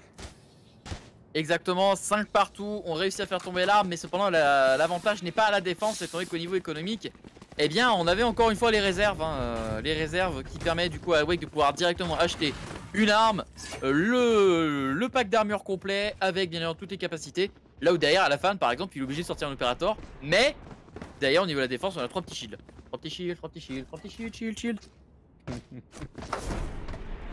On va voir où- Je t'ai entendu sourire. On va voir où se place maintenant l'attaque. Il semble vouloir se diriger sur le site. Ah, Pas sûr que ce soit une bonne idée puisqu'il y a trois défenseurs tout de même déjà installés dessus. On a fait une séparation, un split tout à fait classique 3-2. Mais du coup, c'est sur le A le plus adversaire et la rotation a été faite rapidement. J'ai l'impression. Euh, en plus du côté de la défense, Good Perry va utiliser ses capacités pour permettre de prendre de l'espace, mais on est attendu par un opérateur ainsi qu'une euh, furie du chasseur qui aura permis de prendre une élimination pour l'attaque. Exactement, derrière Yalner qui va prendre du temps avant de pouvoir revenir. On a à la fin que au niveau de la hauteur avec son opérateur. Est-ce qu'elle va pouvoir prendre le bon point de vue justement sur Awake? C'est là où on va se. Là, c'est une question qui est quand même très importante alors que Sky et euh, Sova avaient intervenir au niveau du fight. À la fin, malheureusement, perd son duel face à Awake au niveau de l'opérateur. On a ici Alexis qui réussit à garder l'angle cassé. Du coup, permet à ses alliés de pouvoir remporter ce point 5 à 6, mesdames et messieurs. Dernier point avant la mi-temps. Dernier round dans la mi-temps, on va peut-être partir sur un 6-6, De peut-être nouveau, de nouveau. Le scénario se répète, hein, euh, c'est scripté. Hein, euh, une des deux équipes mène 4-0, elle se fait rattraper, on égalise sur euh, 6-6 au changement de side. Aïe aïe aïe, pour l'instant tout se répète. On appelle ça du scénario. euh, Hein. On Ouais, appelle ça c'est du scénarium. un script pur et dur et on le suit à la lettre euh, dans cette grande finale. Donc euh, il semblerait que les deux, les deux équipes euh, veuillent euh, nous euh, tenir en haleine jusqu'au bout et peut-être même une troisième carte. Alors que là on n'a pas du tout l'avantage des armes pour euh, la défense qui semble en grande difficulté maintenant. Toujours de nombreuses économies possibles pour l'attaque, elle qui euh, prend son temps cette fois-ci. Exactement, elle prend son temps. On a quand même du côté euh, de Yalner. Oh, attention Suivant. Attention Yalner, parce que du coup, son collègue vient tout juste de prendre une balle. Une balle tirée par Alexis, c'est bon, ça suffit. Ori, cependant, se fait éliminer par Sekmi aussi. Donc, on a euh, cette égalisation. Égalisation qui a été interrompue par Awake. Qui fait du coup le kill sur la fan qui avait ses capacités ultimes. Du coup, on va pouvoir pusher au niveau du point B. Avec le pauvre Sova qui est tout seul en plus, qui est obligé de partir sur une arme de moindre qualité qu'on passe à l'adversaire. Il réussit à faire un kill sur Alexis. Il réussit à faire un double kill. Mais derrière, le shorty d'Awake élimine Yalner. Mais le Sova fait quand même un double kill égalisant du coup la situation au niveau du de joueurs. Cependant, bah, la Viper n'a que 17 points de vie. Une Viper qui euh, risquera d'être euh, joueur.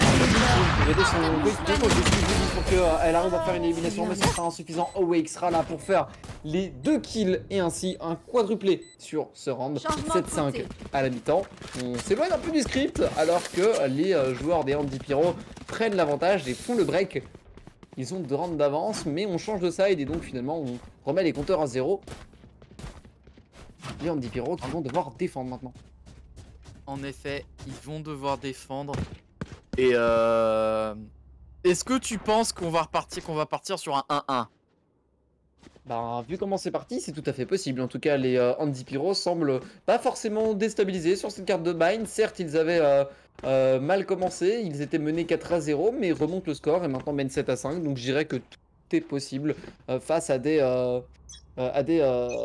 adversaires un petit peu déstabilisés qui n'arrivent plus vraiment à avoir de la réussite pour, cette carte de bind.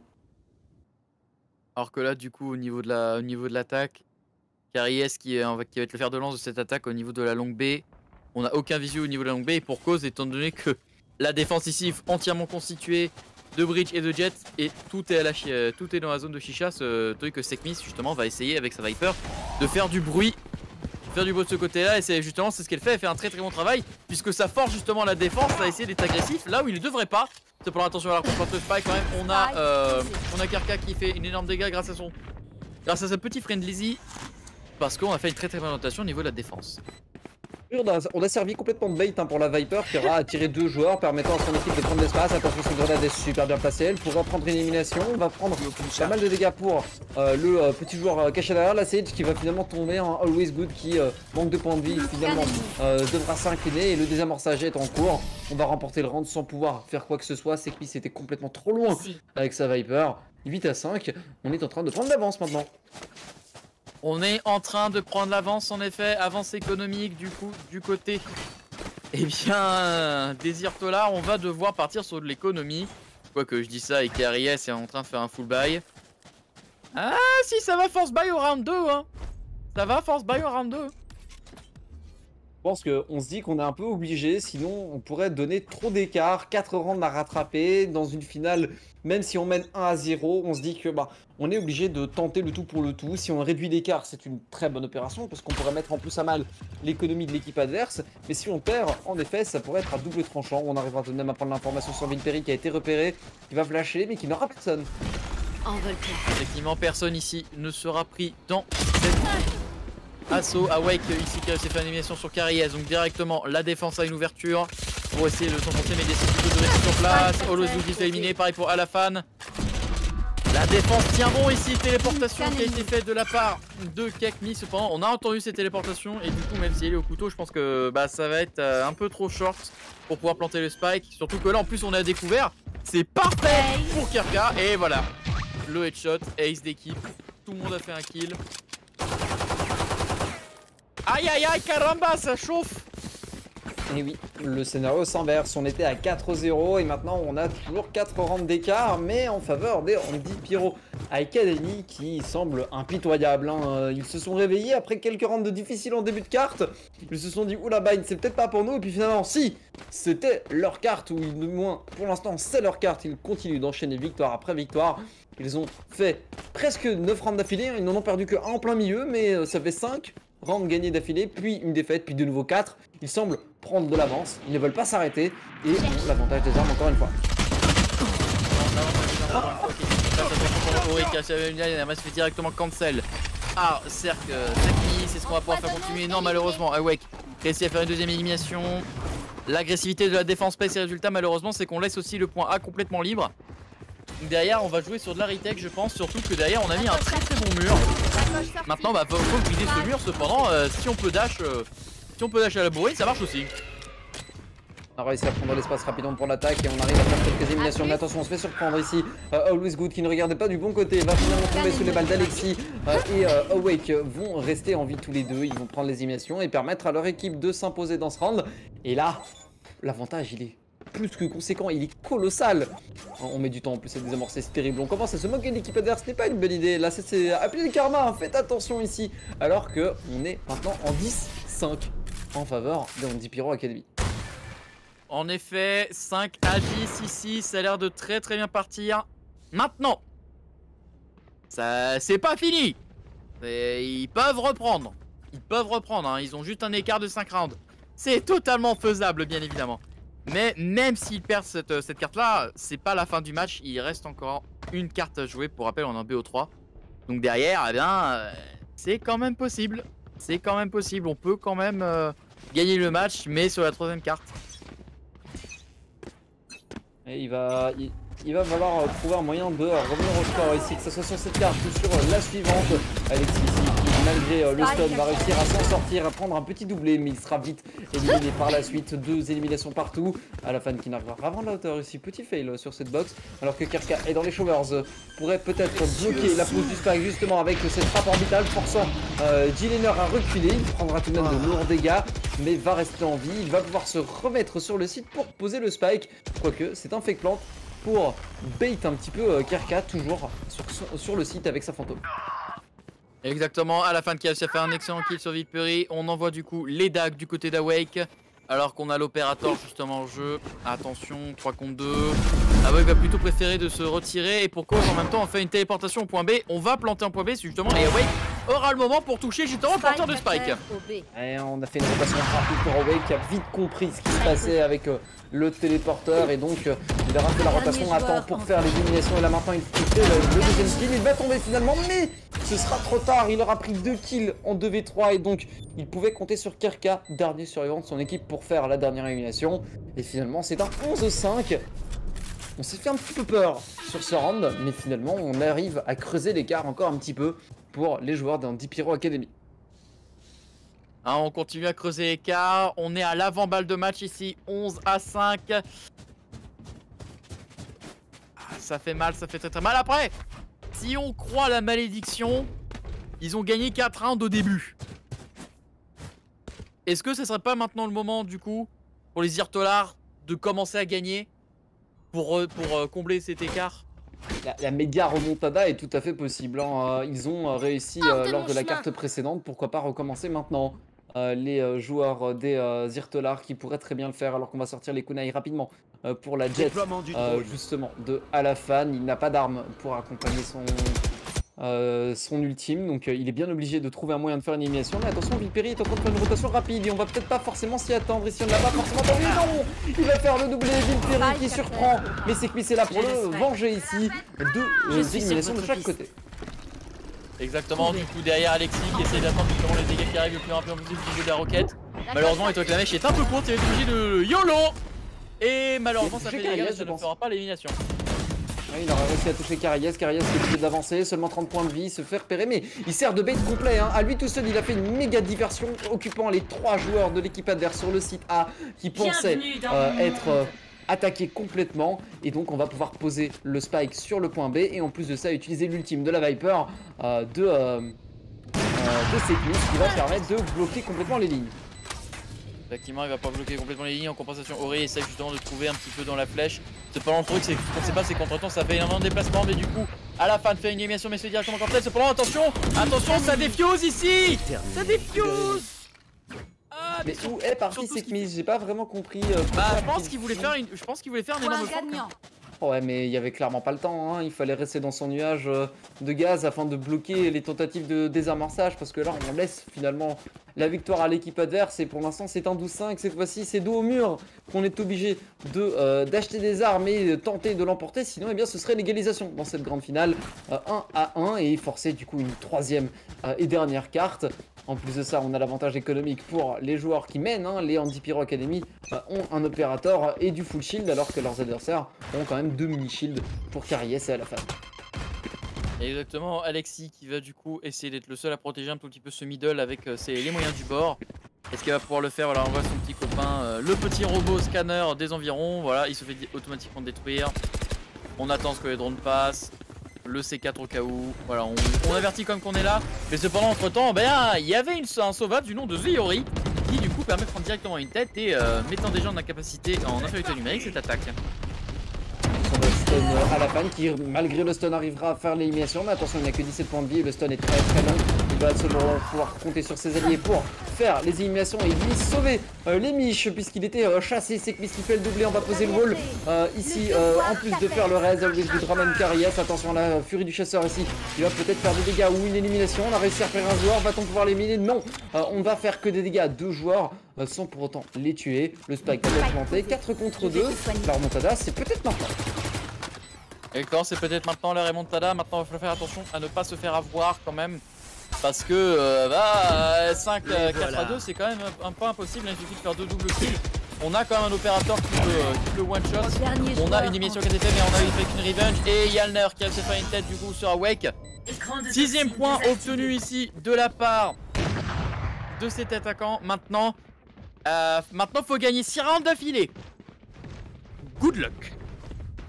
Impossible, mais ça va être difficile, ça c'est sûr et certain. Mais ici en tout cas on a vu clairement une, un, je vais dire un regain euh, de confiance de la part des euh, qui euh, certes étaient en difficulté mais ont réussi à mettre en place leur plan de jeu, ils ont réussi à utiliser les bonnes capacités au bon moment, faire les éliminations rapidement, déstabiliser la défense. C'est ce qu'il faut faire encore 6 fois d'affilée pour euh, l'emporter, mais attention là on est très agressif j'ai l'impression pour la défense qui est en économie partielle puisqu'ils vont être très agressifs. Always Goodbot, justement, le pays de sa vie, il n'avait pas compris que l'équipe adverse avançait.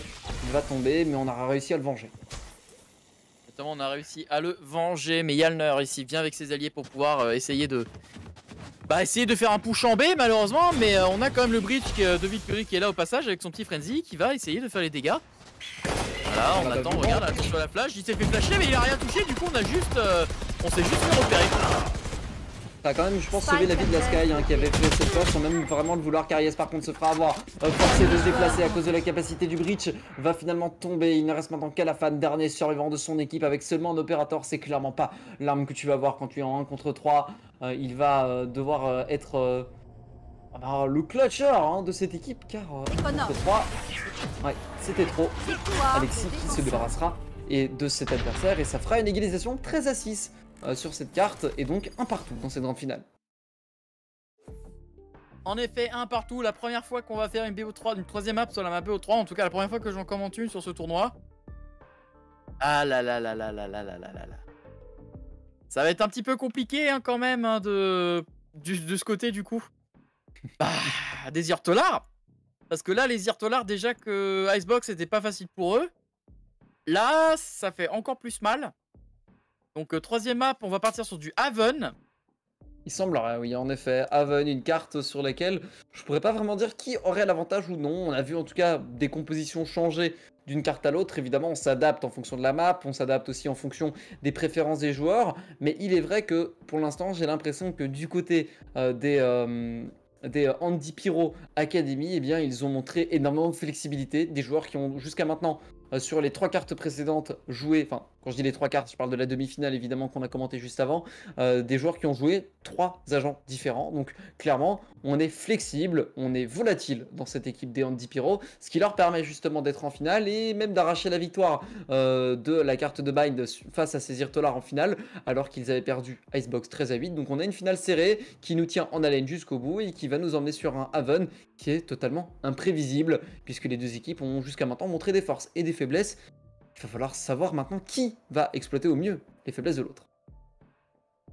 En effet, qui est-ce qui va mieux exploiter les faiblesses de l'autre? Qu'est-ce qui va euh, mieux utiliser la composition aussi? Étant donné qu'on a, comme tu as dit, qu'on avait quand même quelques changements assez euh, notoires qui ont été appliqués. Maintenant, voilà, faut voir si ça va vraiment marcher ou pas euh, pour la suite. Je te propose de faire une petite deux minutes de pause. Voilà, deux minutes de pause pour le temps que les deux derniers joueurs arrivent pour pouvoir euh, reprendre, euh, pour pouvoir reprendre la suite de ce, de ce match et probablement la fin de ce match. A tout de suite. À tout de suite. Et donc, euh, rebonsoir à tous et à toutes, mesdames et messieurs, pour la suite et fin de cette quatrième journée de la Corfin eSport Festival. Je suis toujours Juster et je suis toujours en compagnie de Dams, qui bah, va devoir décaler le début de son stream, étant donné que là, on va partir sur une troisième map hein, de cette finale, qui est quand même particulièrement serrée. Oui, une carte tout à fait, enfin une map, enfin une finale, pardon, tout à fait serrée entre les deux équipes. On s'y attendait hein, finalement quand on voyait le bracket. euh, Les deux équipes ont eu des matchs serrés jusqu'à arriver en grande finale et donc on pouvait s'attendre à un niveau similaire entre les deux équipes et c'est justement ce que les deux équipes nous proposent. Donc c'est beau à voir pour l'instant et euh, ça nous permet d'avoir du suspense jusqu'au bout. Euh, on va se retrouver sur la carte de Haven qui devrait pas tarder à commencer. On, on attend d'ailleurs que les équipes soient prêtes. Évidemment, nous nous sommes désormais prêts euh, à les voir se battre, mais une carte de Haven qui pourrait partir d'un côté comme de l'autre. hein. Avec ces deux premières cartes, je dirais que tout est imprévisible. Juste si une des deux équipes mène 4-0, on sait que ce sera l'autre qui gagne. En effet, c'est la malédiction de ce match, j'ai l'impression. Mais du coup, qu'est-ce qui se passe ici du 2-2 Ouais, dans les quatre Euh, premiers rounds. Est-ce qu'on est qu'on partirait sur un draw à la 24-22 ah, ce serait euh, épique, fatigant, mais incroyable. Et surtout inattendu. Et surtout que- inattendu, oui, Je effectivement. t'avoue Parce que, que bon, après avoir commenté la demi-finale plus deux premières cartes euh, sur cette grande finale, si on va sur un 22-24, euh, je pense que même les joueurs vont être fatigués parce qu'ils sont en train de jouer depuis ben, 17h aujourd'hui euh, pour les deux équipes là, donc les, les mecs seraient quand même sur. Bah, sont déjà actuellement sur 4h30 de Valo presque non-stop, un jeu qui du coup compétitif, épuisant on va dire mentalement, pas forcément physiquement parce que bah, ça reste du gaming, hein, tu es sur ta chaise etc. Donc d'un point de vue musculaire, tu ne te fatigues pas trop, mais il est sûr que ton cerveau, au bout de 4h30 de Valo non-stop, surtout dans un tournoi où tu tryhards tes grands morts, bah c'est sûr que à la fin ton cerveau il grime. Alors imagine si c'est 22-24, on va avoir des stratégies sorties du turfu parce qu'ils ont, ils pourront plus faire mieux. le cerveau fonctionne ralenti et ce sera du pur réflexe. non, en au fait, contraire, le cerveau fera de la surchauffe et tu verras une game full judge en sniper en long C. Et connaissant ça- le judge, Ça va marcher. endurance, hein, euh, si on y va jusque là, donc. euh, Je ne le souhaite pas forcément pour les joueurs, hein, on, le rappelle, n'enchaînez pas trop longtemps euh, du gaming sans faire de pause, hein, euh, c'est déconseillé évidemment, prenez soin de vous, même si là pour l'instant les joueurs en tout cas semblent toujours chaud patate pour nous proposer du beau jeu. On va aller sur Haven justement, voilà la sélection des agents qui est en train de se faire pour l'instant, et euh, très peu d'hésitation maintenant, j'ai l'impression du côté de ces Zirtelar, hein, puisqu'ils avaient hésité sur Bind, mais là, sélection rapide, alors que l'hésitation, elle est finalement présente chez les Andy Pyro Academy. Bah, en effet, c'est vrai que c'est eux qui ont plus fait de changements au niveau de leur composition. Ils se posent, je pense qu'ils doivent, sont en train de se poser la question. Est-ce que on part sur du bébé, un Bridgestone Bridge, Brimstone Bridge, ou est-ce qu'on va partir sur autre chose? Ça hésite. On essaie de voir qu'est-ce qui peut être le plus intéressant. Est-ce qu'on sort la Killjoy? Est-ce qu'on sort le Cypher, notamment pour gérer la longue C Bah là, on se pose des questions. QRK qui va peut-être partir sur de l'Omen, pourquoi pas? Voilà, on va partir sur de l'Omen. Attention cependant, parce que du coup, on n'a pas, on n'aura peut-être pas de soigneur, sachant qu'en face il y a Always Good qui va partir sur une Sage. Bill Perry qui est parti sur un Cypher aussi, donc c'est la personne qui va devoir gérer, je pense, le C, ça va être, ça va être Bill Perry. Maintenant, euh, Carrie S quand même qui est, qui est sur Jet, donc euh, l'opérateur en long C, euh, je pense que c'est elle qui va la porter. hein.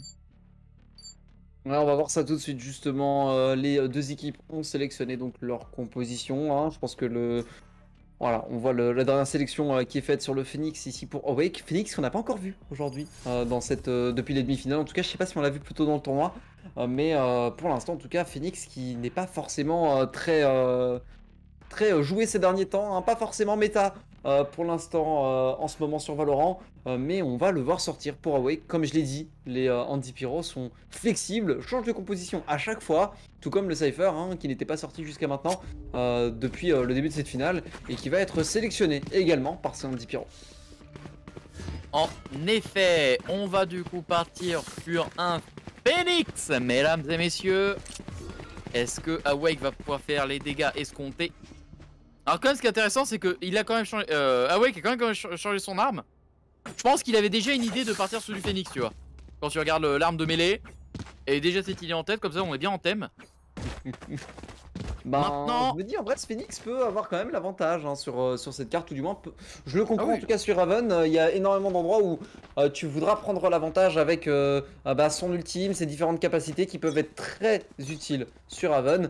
Alors que là, on semble se masser sur le C en défense. On a juste laissé un joueur en A, et justement, on a l'air d'avoir bien compris hein, sur ces doubles d'or, il y a de l'attaque à revendre. En effet, il y a de l'attaque à revendre maintenant. Faut faire attention à Awake qui va essayer de passer justement dans le flanc, qui met la flash directement pour essayer de voir s'il peut trouver un le positionnement. Malheureusement, non. Et au lieu de continuer à attaquer, il va plutôt préférer revenir directement au niveau du spawn. Du coup, ça va permettre de pouvoir euh, et de voir un petit peu ses tanks. Cependant, le spike a déjà été planté au niveau du middle B. Et du coup, ça va être sur un jeu de rythme avec Vilperi qui essaie de faire du flanc. qui va directement arriver par Seknis. Diori cependant réussi à avoir KRS. On commence déjà à faire de la diffuse du côté de QRK. Au moins pour confirmer la première moitié. Mais attention, on va aller jusqu'à la deuxième moitié ici. Mais malheureusement, bah, l'acide fait le travail. Et on s'est un peu jeté sur ce spike et Awake était là euh, pour faire l'élimination. Le Phoenix qui euh, nous a un petit peu surpris mais qui fait la différence pour l'instant. On a énormément de capacité pour bloquer euh, toute tentative de diffuse de ce spike et justement on est en train de se faire avoir un à un euh, pour les euh, joueurs de euh, la défense et il reste seulement à la fan maintenant euh, qui euh, essaye de, euh, de diffuse mais il est attendu par Alafan. À la fin, et cependant, voilà, il, ac- il accepte son fait et se fait directement éliminer malheureusement à la fin. Du coup, même si le premier round est à l'avantage de l'attaque, c'est quand même au prix de tout l'arsenal. On a utilisé énormément de capacités, ne serait-ce que pour maintenir ce spike planté au niveau de l'attaque. Du coup, bah, ça va être euh, quand même un bail euh, assez coûteux. Là où la défense au contraire euh, bah, plutôt rester sur, sur de l'écho. Quelques shérifs ici, voilà, pour, pour armer un petit peu le tout. Mais à part ça, pas, pas de grosses dépenses. Et du coup là on va se masser sur le A1 j'ai l'impression pour l'attaque par contre hein, euh, certes ils ont euh, ils ont euh, l'avantage des armes mais ils ont surtout l'avantage en nombre hein. ils avancent très rapidement Zéoric c'est pas surprenant sur son euh, Sova ne pourra rien faire à part tomber tout comme Alexis surpris par Karies qui joue la jet cette fois-ci euh, Sekmis va empêcher la rotation dans le bac évidemment il va avoir un duel à remporter ici euh, face à Vilperi mais Vilperi n'avance pas non plus ils sont tous les deux d'un côté de la box et justement Sekmis voilà aura compris rapidement et se sera débarrassé de lui Effectivement, Awake a fait une très très belle tête. Maintenant, John Phoenix, 1 contre 4. Est-ce qu'il va essayer de reculer ou est-ce qu'au contraire il va essayer de- d'agresser? Il va plutôt essayer de tenter l'agressivité et en même temps un round d'écho. Le plus important surtout ça va être d'éliminer le plus d'adversaires, d'emmener le plus d'adversaires dans la tombe. Awake a pris euh, 52 de dégâts. Justement il va essayer de l'attendre au niveau de l'angle cassé. Et c'est ce qu'il va essayer de faire malheureusement ici. Alors il a essayé de. Je pense qu'il est... je pense qu'il a cru qu'il avait fait une tête. Parce que c'est la seule euh, explication que j'ai. Oui, j'ai pas vraiment compris euh, ce qu'il a fait non plus, mais bon, on va quand même dire qu'il a fait un bon round, il fait une bonne élimination malgré tout, mais euh, on avait clairement pas l'avantage, on aurait espéré faire plus, je pense, pour la défense. Certes, ils vont pouvoir acheter des armes maintenant, mais l'équipe adverse a encore l'opportunité avec ces différentes spectres et même cette fantôme achetée par Sekmis de faire la différence. hein, euh, même si on a légèrement moins, de moins bonnes armes, ça pourrait suffire pour creuser l'écart et prendre le 3-0. euh, et pourquoi pas le 4-0 si euh, significatif depuis le début de cette finale. En effet. Alors, le problème, c'est que si la défense à 4-0, du coup, c'est les attaquants qui vont gagner. Parce que t'aurais pas volontairement envie de perdre ce 4-0. Ouais, c'est ça, du coup, tu dis si c'est vraiment une malédiction. Est-ce que tu veux pas juste faire 3-1 juste pour dire au destin non, ça marchera pas cette fois-ci? Tu, tu bait, tu bait le karma, tu bait le destin, tu bait la malédiction, pourquoi pas ici? Alors que justement oh wait va tomber Karies qui fera l'élimination mais euh, malgré l'esquive il ne pourra pas s'échapper face à Vilpiri qui fera l'élimination. En plus de ça Alexis enchaîne, se fera tuer juste après. On continue d'équilibrer les choses, Always Good euh, qui euh, pourrait peut-être bloquer le désamorçage mais il y a un mur et une smoke, il ne sait pas sur quoi tirer puisqu'il ne voit absolument rien. Mais attention à cette molotov, ah, elle arrivera trop tard pour empêcher la diffuse. Et donc ce sera pas de 4-0 cette fois-ci puisque ce sera en 2-1. Alors du coup, du coup j'avais posé une question. Si c'était pas un 4-4 mais genre un 2-2, il serait, il serait passé quoi? Eh bien, on va, on, va voir, on va le voir tout de suite, du coup. J'imagine, ou du moins. Genre, je tente- J'entends les sueurs sur ton front parce que ce que je, crois- je crois ce qu'on avait prédit c'était genre 20-22. Ici. Le, le match finit en On avait dit, 22 on avait va dit être- 22-24, hein, ça on avait été là. plus loin. 22-24 encore, encore pire. toujours plus. Et euh, Euh, et bien, le match finit, le il se finit à 23h. Ah bah c'est pas grave, on, on, on enverra nos fiches de paye avec les heures supplémentaires directement à Club euh, qui du coup se fera un plaisir de ne pas les payer. Alors que l'attaque Oh, se dirigeait en C cette fois-ci. Première fois qu'on tente le C électrique. euh, pour l'attaque et on va utiliser cette flèche électrique qui va voler bien au-dessus et qui va tomber. Je pense sur un joueur. Non, on l'esquive. Sans vraiment l'avoir vu venir, je pense.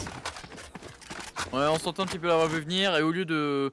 Au lieu d'avancer avec la smoke de Kurka, on préfère du coup euh, faire une rotation lente mais sûre du côté du C ou en, moins- en tout cas faire une feinte. On hésite, on ne sait pas. hein. Est-ce qu'on veut, avancer en C? Si oui, à quelle vitesse? Parce qu'on a quand même deux joueurs qui gèrent la longue, hein, Awake et Kurka. Tire à travers la smoke, on ne trouvera personne. Qui a quand même pris quelques dégâts à travers, euh, euh, de travers euh, euh, différentes rafales. Mais on ne prend pas vraiment de risque ni d'espace hein, pour l'attaque. Je pense qu'on essaie de faire un fake. Euh, on espère que la défense se déplace en attendant, mais on ne se fait pas avoir hein, pour la défense. Euh, on Plus est que même 30 prêt secondes. à euh, mettre la flash à tout moment pour Awake. Il va se faire repérer par la flèche, il va être obligé de décaler, il va flasher les 4. Spike à terre, Prendra une élimination avant de tomber. J'ai le spike. Exactement. Là, du coup, on est en 4 contre 3. Mais là-dessus, on a été envoyé Kurka qui a faire une élimination. Il se prend une deuxième. Il se prend une kill ici. Directement avec Sekmis. Cependant, Sekmis n'a que 12 secondes. Il va falloir qu'il avance ici. Et Aleski, du coup, va pouvoir faire le triplé avec notamment au Judge pour finir. On vide les chargeurs de toutes les armes aux alentours avant de récupérer une Vandale. 2-2. Ça sent le 22-24. Pour l'instant, en tout cas, c'est serré et on n'arrive pas à s'imposer pour l'instant dans l'attaque sur ces deux derniers rounds. On avait réussi à remporter euh, le, euh, le gun round hein, au tout début, ce qui avait permis ensuite d'avoir le round bonus. Mais là, maintenant qu'on a des armes euh, pour la défense, eh bien, on ne se laisse plus faire. Les Andy Pyro Academy euh, reviennent au score et auront toujours un avantage des armes certains puisqu'ils ont 4 de mon fantômes et une vandale alors que du côté adverse, eh bien, on est obligé de sortir les kunai, je pense, pour Karius, qui va se mettre immédiatement. En plus de ça, Jailer va être éliminé juste après. Heureusement, on arrive à le venger, mais ce n'est que euh, réduire un petit peu euh, les dégâts, puisque l'attaque est déjà réduite à 3. Dans l'attaque est déjà 3, enfin réduite à 2 surtout, hein, malheureusement, étant que Sekmis vient toujours de se faire éliminer par Villeperi. Donc du coup, bah, n'ayant pas trop de choix, ils vont préférer plutôt partir sur le point A. Cependant, le problème, bah, c'est qu'il y a un Cypher, qui- euh, il y a un Cypher qui, avec son œil euh, du voit-tout, avec sa caméra, va permettre de savoir justement quand est-ce que, quand est-ce que les attaquants commencent à aller au niveau Les du point, tout en étant safe. Voilà, euh, en plus, il y a une capacité ultime, c'est bon, on a le signal. Du côté de on a une résurrection qui a été envoyée d'abord de, de Westwood. Et en plus, on a mis premier headshot sur Villeperi d'ici. Donc euh, là, euh, changement de. changement d'avantage. Ici, c'est la, c'est l'attaque qui prend le bonus numérique et qui en plus a le spike déjà planté. Et ne vous méprenez pas, hein, l'ultime, la frappe orbitale qui a été envoyée n'était pas pour faire des éliminations, mais seulement pour bloquer la vue et permettre ainsi la résurrection euh, sur euh, la Viper de Sekmi. Ce Viper qui du coup peut utiliser son nuage de gaz et ainsi donner l'avantage à son équipe. Par contre, Westwood va se faire surprendre en dessous euh, du Heaven. Il va tomber euh, éliminé par Kerka. Et là maintenant, on est en train de euh, faire le désamorçage, mais on va utiliser euh, justement le poison euh, bien placé pour empêcher la diffuse. Il y a toutes les capacités nécessaires pour faire un maximum de dégâts. Et justement, Kerka s'est retrouvé à quelques points de vie seulement. Euh, tout comme Sekmi, c'est en train de prendre des dégâts. Attention dans la molotov. On a failli tomber, mais à la fin, il fera l'élimination. Dernier joueur en vie. Ah derrière, Kirka qui a réussi à faire éliminer à la fin, mais malheureusement bah, ça ne passera pas. Il se prendra du coup les dégâts du spike. Victoire pour ses attaquants. Mais encore une fois, le problème c'est qu'il n'y a que Sekmis qui est resté en vie, donc euh, on perd quand même énormément d'armes. Donc euh, des deux côtés, on a une économie qui est très limitée. Économie en berne de chaque côté, mais légèrement à l'avantage de l'attaque. Puisqu'ils ont Stéphane. remporté le round, évidemment, ils vont pouvoir. Yes, évidemment. Euh, ils vont pouvoir investir pour des meilleures armes. Ils ont 5 vandales plus full shield. Certes, ils n'ont plus beaucoup d'argent en deux côtés pour la suite, euh, surtout s'ils perdent le round. Oui, mais en tout cas, ils devraient avoir un avantage certain dans euh, cette euh, partie maintenant, sur ce sixième round, où ils mènent déjà 3 à 2, donc ils pourraient reprendre à nouveau de l'avance. On appelle ça du tir de couverture ou du destruction de porte. hein. On sent que, l'attaque n'aime pas les portes, hein, notamment celle-ci. Donc on va quand même, euh, voilà, comme d'habitude, se diviser de trois côtés, deux joueurs vers le C, un vers le middle, deux vers le middle et deux plutôt vers le A pour savoir euh, où est-ce qu'il peut prendre l'opportunité euh, de trouver la petite tête gagnante. Le poison est incroyablement bien placé, ça a forcé Alexis à se déplacer. Et là encore une fois, ça va le forcer à se déplacer. Et donc, le mettre directement dans le viseur de Sekmis. Très bon travail de la Viper qui a compris le placement euh, de l'adversaire. La pauvre Raze d'Alexis qui n'aura eu aucune opportunité de faire quoi que ce soit. Alors que là, maintenant, l'attaque semble se diriger vers un C qui n'est pas forcément connu, j'ai l'impression. Pour la défense, on a seulement Quarka sur le site qui va essayer de tenir et qui fait le tour Non, dans le sens. Il comprend pas. Ah ouais, surtout il a entendu, je pense, c'est le fait qu'il a entendu directement. Le problème c'est qu'il était resté dans ce corner et du coup, on l'a automatiquement mis une tête du côté de Carriès. Bon travail. Attention, le spike, on a tous les joueurs euh, de, disponibles. On essaie de tirer à travers le smoke pour voir si ça va faire des dégâts. Malheureusement, ça ne fera pas plus que ça. Même les flèches ne font pas plus de damage euh, qu'espéré. Le Phoenix essaie de passer justement à l'intérieur, mais se fait directement éliminé par Yalner. En effet, on obtiendra, donc être compliqué derrière et du coup, l'attaque le remporte. Mais on a quand même deux joueurs de tomber, donc ce qui est plutôt bien pour, euh, pour une phase justement un petit peu économique de ce genre. Et du coup, bah, la fan et Carriès, euh, bah, c'est un petit peu compliqué au niveau de l'armement. On sait pas trop quoi prendre. Alors que Villepéry part sur la Odin. Va-t-il la garder? Il y a deux secondes, on était en écho. On perd le round et il investit quand même sur une Odin. on, a- on aurait Alors, même par contre, te- hein. Par contre, ce qui me fait beaucoup rire, c'est que là, c'est deux rounds perdus, deux rounds gagnés, deux rounds perdus. Est-ce qu'on Bah, va partir sur deux au moins, à cette vitesse-là, au moins, ça s'arrêtera à 14-12 du coup, si on continue comme ça. Oui, effectivement, ça s'arrêtera à 14-12. Si on a de la chance, c'est que ça s'arrête à 14-12, parce que nous connaissant, on va avoir un match qui, pour le plus grand plaisir des spectateurs, va être à 24-22, parce que voilà. Parce que ce serait beau en tout cas, alors que là on a une élimination de prise de chaque côté, les deux sauvages sont tombés, plus vraiment de prise d'information, on aura tout de même le euh, Cypher pour la défense qui tient le A, mais le problème c'est qu'on n'est pas du tout sur A pour les attaquants, on est tous passés, sauf le pauvre petit Alafan qui va se faire avoir par Alexis qui était dans le flanc euh, sur le mid, heureusement vengé par Augustus qui fera la bonne décale, euh, boosté évidemment par la balise euh, justement du Brimstone qui est tombé juste avant, il a réussi à mettre quelque chose sur l'avant, euh, c'est que mis en plus de ça va faire l'élimination, Villepéry est en train, en train de se déplacer. C'est sans Cypher et donc on a finalement l'avantage du côté de l'attaque. Et Thomas, on a l'avantage du côté de l'attaque, surtout qu'on a déjà contrôlé le point A, et du coup, on s'attend à ce que le Phoenix avance de manière agressive avec sa capacité ultime. Voilà, le mur de 7 qui a été euh, instantanément appliqué. On envoie ce point arrivé du côté d'Awake. On va essayer de voir si on peut pas récupérer quelques têtes avec sa capacité ultime. Malheureusement, ça ne passera pas. Il a à peine réussi à prendre quelques informations tout au plus. On a réussi à se débarrasser euh, rapidement euh, de cet ultime euh, pourtant dangereux de Wake qui va du coup perdre tout son shield. Il passe sur le Heaven maintenant. Il cherche une opportunité, mais il y a trois joueurs face à lui. Ça risque d'être compliqué. Il va finalement en sauter et immédiatement recueilli par euh, les joueurs de l'attaque. Carias en plus de ça va faire la domination Poison rapidement sur Querka. Aucune chance pour la défense là-dessus. Très bonne maîtrise de l'attaque, prise de position, exécution. Tout était bien fait. Ils avaient toutes les chances de leur côté. Exactement, il a toutes les chances de leur côté. Et là, ils ont encore une fois une économie aux petits oignons. À tel point même, euh, voilà, j'ai eu peur pendant deux secondes. J'ai cru que Carriès allait sortir une arme euh, démoniaque. Non, il va plutôt préférer partir sur une Vandal, c'est très très bien. Tandis qu'en face, au niveau de la défense, bah, tu vas être obligé de sortir que des petits shields avec des shérifs et même une Stinger de la part du Cypher. Et c'est euh, la tentative surprise, hein, la Stinger qui pourrait euh, être euh, le petit changement, la, pe- le pe- la petite arme inattendue qui permettrait de prendre des kills et pourquoi pas remporter le round alors qu'on est en économie difficile hein, face euh, à ces euh, joueurs de, euh, de l'attaque maintenant qui vont attaquer. Les Irtelars qui ont un avantage certain. On va utiliser les ultimes, Alexis qui va sortir le doublé avant de tomber de partout euh, pour l'instant en termes d'élimination, mais à la fin, régler ça, on a l'avantage pour l'attaque. On a l'avantage pour l'attaque, Awake en plus qui s'y réussi à éliminer ses pistes. Malheureusement, on a la formation de son positionnement. Awake va utiliser justement euh, sa grenade pour pouvoir se soigner, se recharger. Il se prépare au niveau du fight, hein. Mais il a raison. Oui.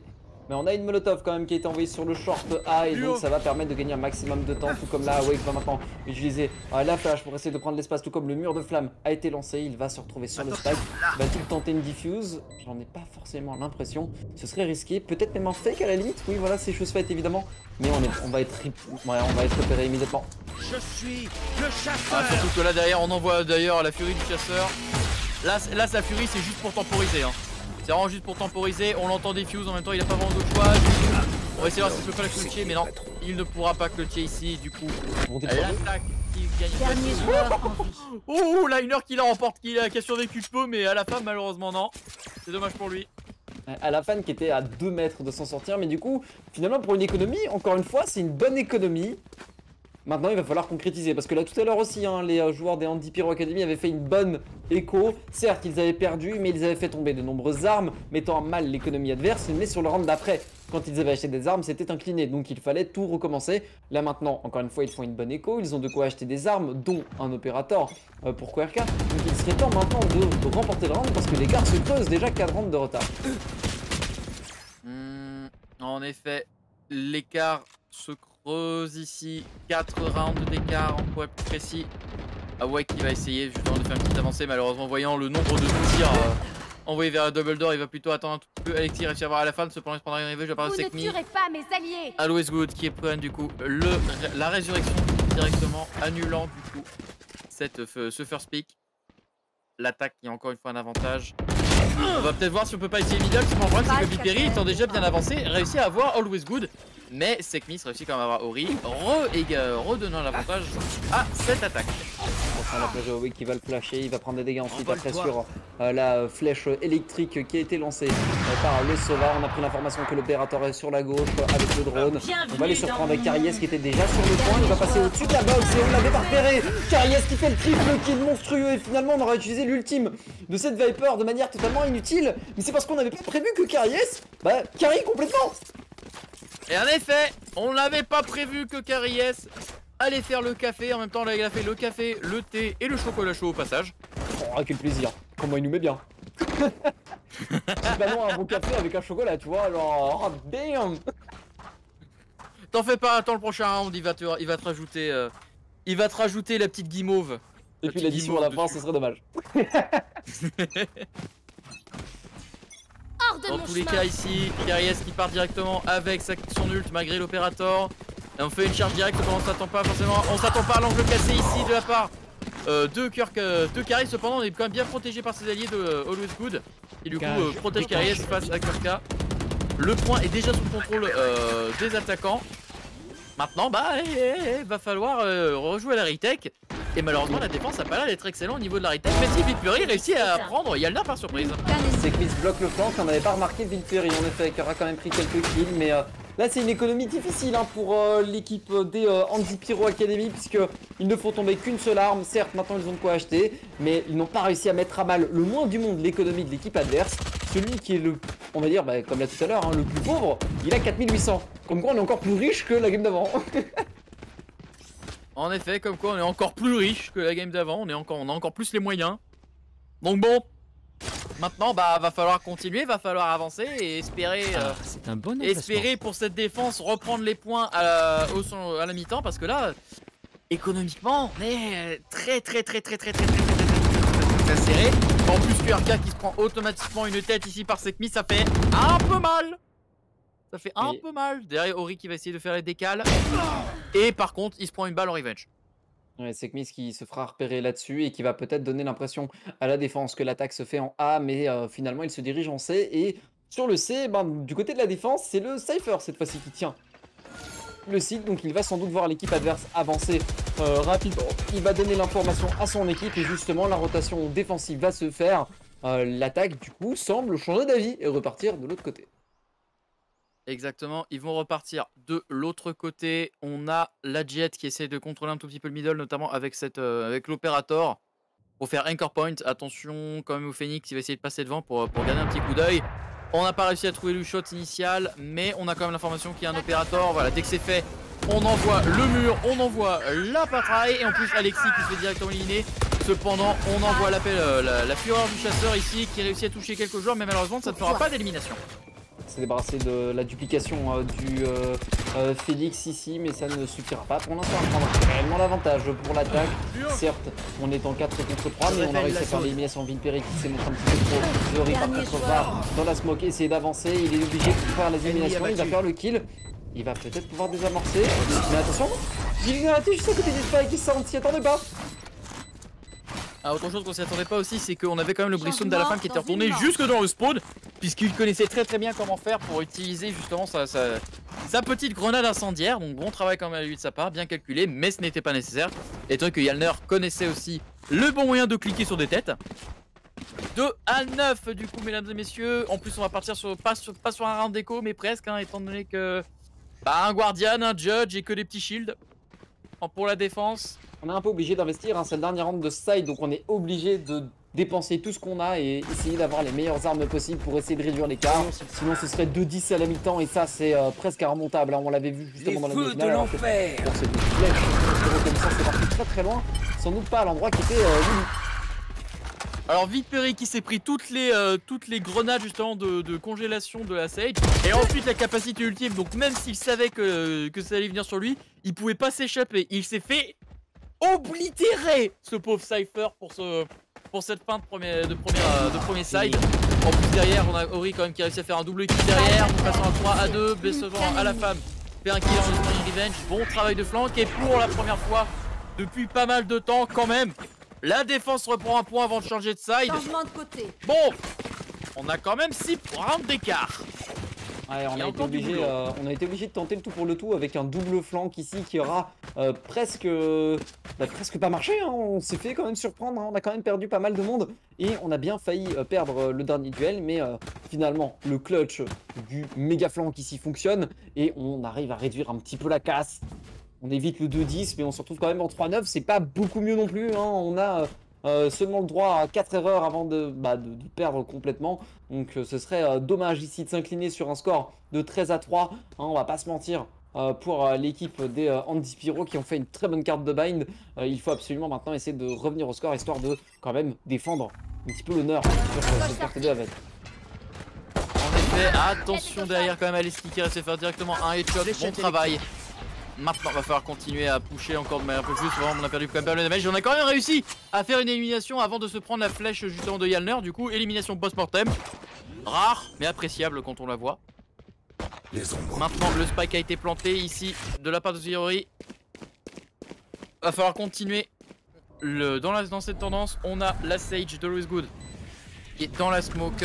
Il va récupérer justement le ghost avant de partir en parallèle, du coup de devoir tirer un petit peu par réflexe. Viperi qui, se, qui a essayé directement cette mise. Always Good qui essaie de voir où est-ce qu'on peut, où est-ce qu'on peut trouver ce Cypher un petit peu, un petit peu mesquin.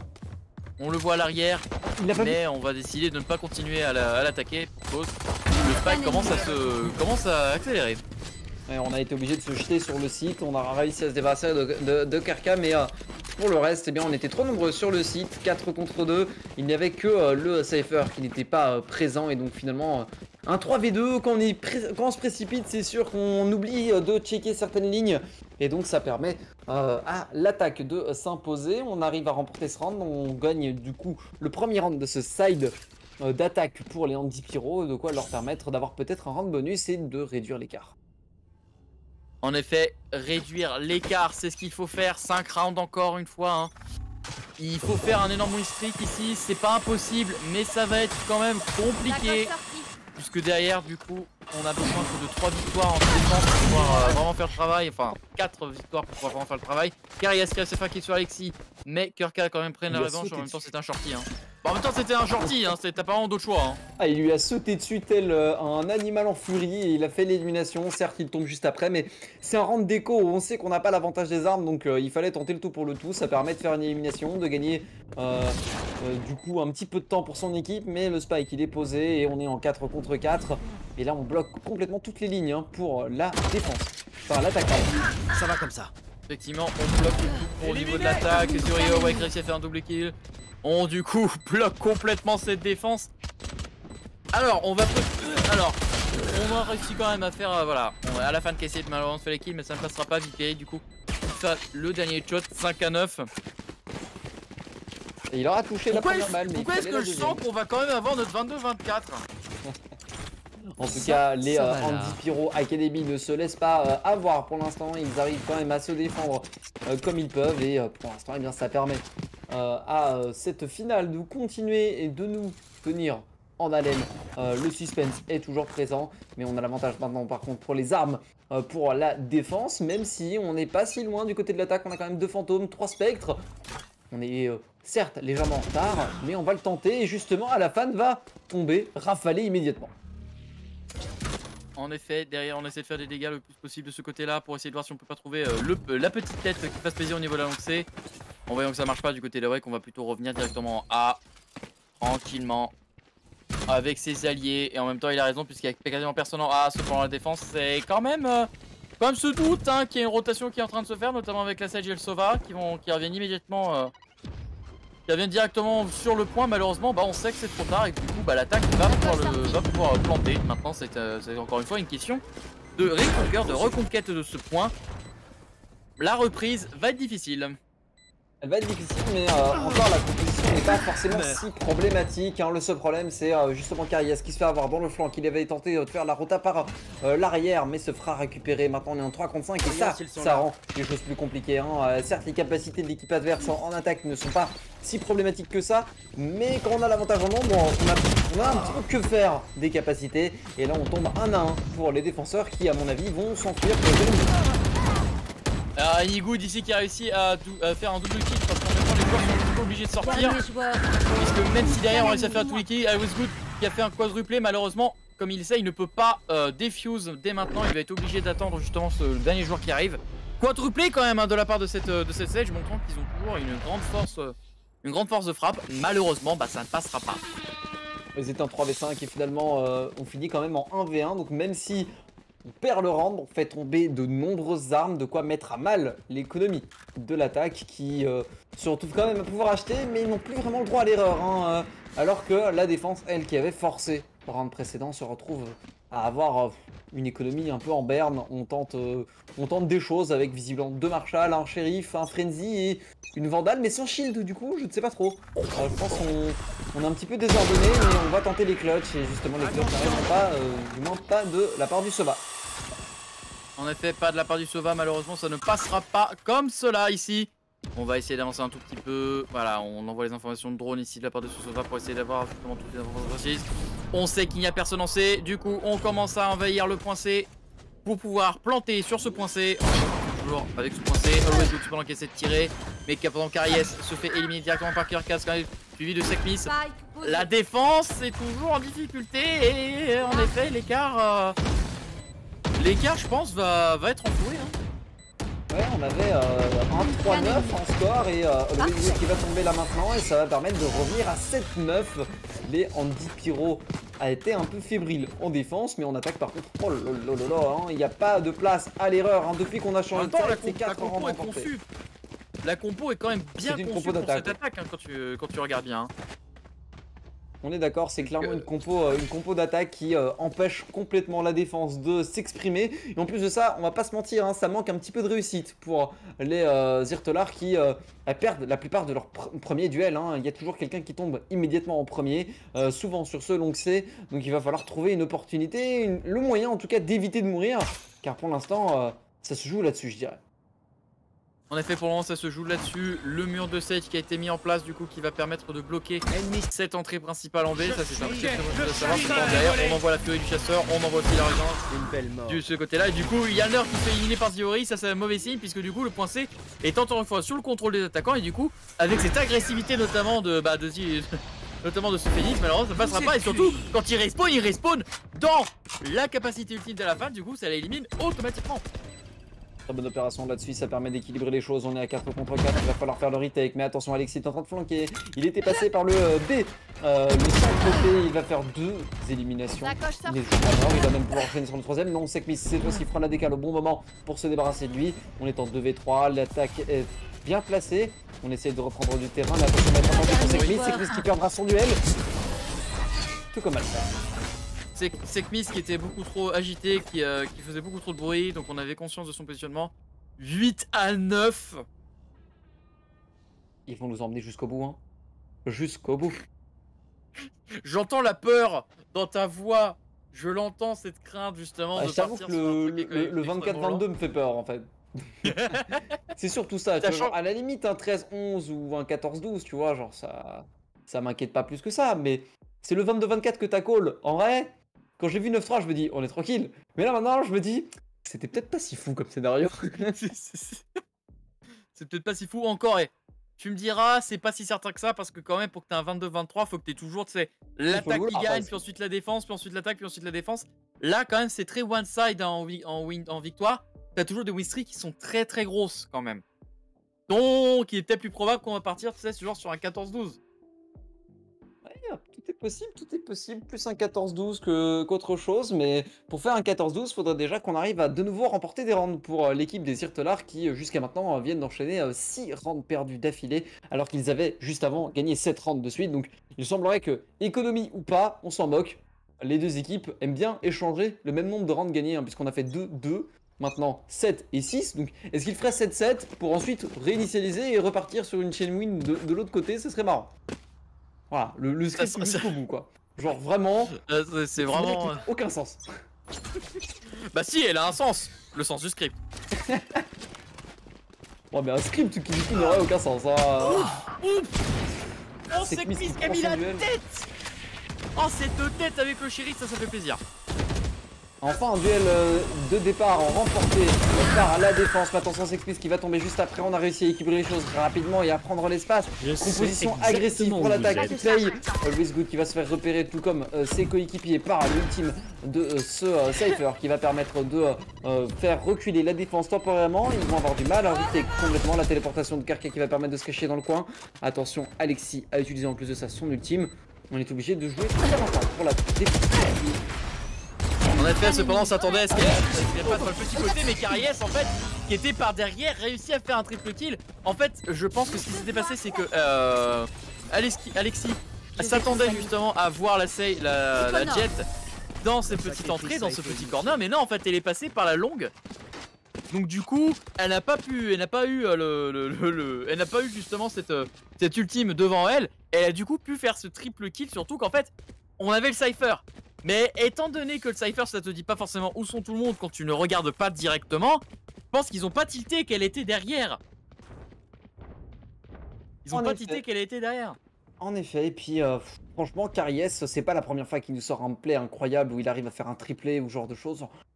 Solide, solide, solide. euh, Et c'est pas la première fois d'ailleurs, rien que dans cette carte, hein, euh, qui euh, fait une, bonne map de Haven et qui sauve les meubles plusieurs fois et qui permet à son équipe d'éviter l'égalisation. 10 à 8, tout repart maintenant en faveur de ces Zirtelars qui pourraient très bien l'emporter.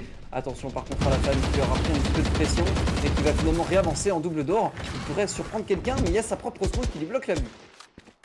En même temps, c'est normal, je pense que c'est fait exprès. Ils voulaient justement faire en sorte de, bloquer un petit peu la vue pour, pour avoir cet avantage au niveau du positionnement. Cependant, derrière, Alexis qui préfère tirer un petit peu euh, aléatoirement, justement, pour espérer euh, faire ces dégâts-là. Cependant, euh, avec euh, la prochaine, la smoke qui été envoyée de la fan, il va pouvoir avancer un tout petit peu. S'assurer justement d'avoir un meilleur positionnement. Mais derrière, se fait directement éliminer quand il y avait deux joueurs devant lui. Alexis, du coup, prend le premier kill. La défense est dans une mauvaise posture, mais ça veut pas dire qu'il ne peut pas remporter ce round. Et alors que j'ai l'impression que est l'attaque va se diriger sur le C. hein. Le B est complètement bloqué. Euh, il semblait vouloir aller sur C, mais finalement la rotation semble être plutôt sur A. Et sur A, il y a quand même deux joueurs, ou du moins euh, deux joueurs qui pourraient être présents rapidement. Euh, on a Cariès toujours sur le site. Il va être en plus sur les box, hein, donc il pourrait très bien surprendre quelqu'un. Mais il ne regarde pas forcément le 30 meilleur endroit, secondes. puisque en effet, c'est bien au short que l'ennemi va arriver. Ah, cependant Cariès ici que au niveau de la hauteur qu'il du coup réussi à faire. Malheureusement, il a pas pu faire de kill. Il a fait un dash alors qu'il a pas pu faire de kill malheureusement et du coup, ça, c'est son très très bon placement n'a pas pu se solder par des éliminations. Au contraire, ça s'est surtout soldé par sa propre mort. C'est dommage. Ah ouais, qui réussit à faire un kill sur sa kill. Du coup, passant la défense à deux joueurs. Owezou obligé de faire un headshot. Mais Yalner qui réussit à faire un double ici, ce qui va pouvoir faire le miracle en faisant deux autres kills et du coup passer en quadruple. Les deux sont très low, il pourrait le faire alors qu'il a l'avantage au niveau des points de vie. Attention, c'est le Grenadier qui va lui forcer à révèle reculer la flèche de détection qui va lui permettre de voir s'il y a quelqu'un sur le Heaven. Mais non, les deux étaient sur site et ça, il n'avait pas l'information. Triple kill de Alexis du coup dans ce round qui va permettre de réduire l'écart 9 à 10. Tout est ultra serré entre les deux équipes. Ça joue à chaque fois à des micro-clutches, j'ai l'impression, sur ces quelques derniers rounds. Il va falloir absolument trouver un moyen de creuser l'écart pour la défense et pour l'attaque. Elle, euh, elle bien partie pour réégaliser. En effet, elle est bien partie pour réégaliser. Surtout que la défense n'a pas énormément de moyens, même si bon, voilà. Elle a quand même les fonds pour pouvoir s'acheter des armes et des armures. Malheureusement, elle n'a pas beaucoup de, euh, de sous-sous en réserve. Là où l'attaque, justement, bah, a tous les moyens du monde. On va mettre un wall euh, sur la longueur du short A, forçant donc l'attaque à avancer plutôt sur euh, la badane, hein, sur euh, le contour complet euh, du A. Euh, ils vont donc se retrouver peut-être face à un opérateur défensif, mais Kirka est- s'est téléporté sur la hauteur avec son, euh, son main. Il a pas été repéré, il va pouvoir tomber, mais si, Always Good sera là quand même pour faire la vengeance. Ah, il fera la vengeance du coup et ça va permettre justement à Karies de pouvoir revenir au niveau de la hauteur, mais son positionnement dans la hauteur ne sera pas efficace étant donné que derrière on fait directement une rotation au niveau de la défense vers le middle. Cependant, Yalner avait quand même pris une tête sur Vipony, donc du coup, on s'attend peut-être à faire une rotation full, full C en fait au niveau de la défense, mais non, ça risque d'être plutôt une rotation vers le B qui va être faite que Ori s'est déjà bien engage dessus. Et du coup, bah, pas forcer ses alliés à devoir faire le même. Giliner qui se retrouve pour l'instant tout seul sur le fini site B. On n'a toujours pas forcément la- l'information. Away qui va utiliser son ultime, forçant zone. euh, à se déplacer. Il va donc tomber dans la ligne euh, du Sova de Zohori. On va remporter là-dessus. On va même avoir Alafan qui va équilibrer un petit peu les choses. 2v3, le spike est posé sur le B. Et on est maintenant en 2v2. Karies. Qu'un ennemi. Ah, Karis a le couteau ici, qui va peut-être faire des dégâts. Cependant, Awake préfère justement euh, attendre avec la smoke de ce Brimstone que, le, euh, que sa plante. Alors attention derrière, il y a les smokes qui ont été envoyés. Ça veut surtout dire qu'on veut essayer de défuse pour de bon. Le problème, c'est qu'on n'a pas pu. On n'a pas pu tirer au milieu, on n'a pas pu tirer vers la bonne tête justement. Always good. Qui va pouvoir faire ce defuse à 12 PV restantes. Il a pas Ah là là là là là là là. Fallait absolument pas arrêter le euh, diffuse ou alors fallait prendre le duel. Il a décidé de garder la main sur le spike et il a pris des risques qui ont payé. Ça s'est joué à si peu de choses. On a mitraillé à travers cette smoke sans pour autant choper la tête. C'était si près de passer, mais non. Et donc on arrive à faire le petit break ici, 11 à 9.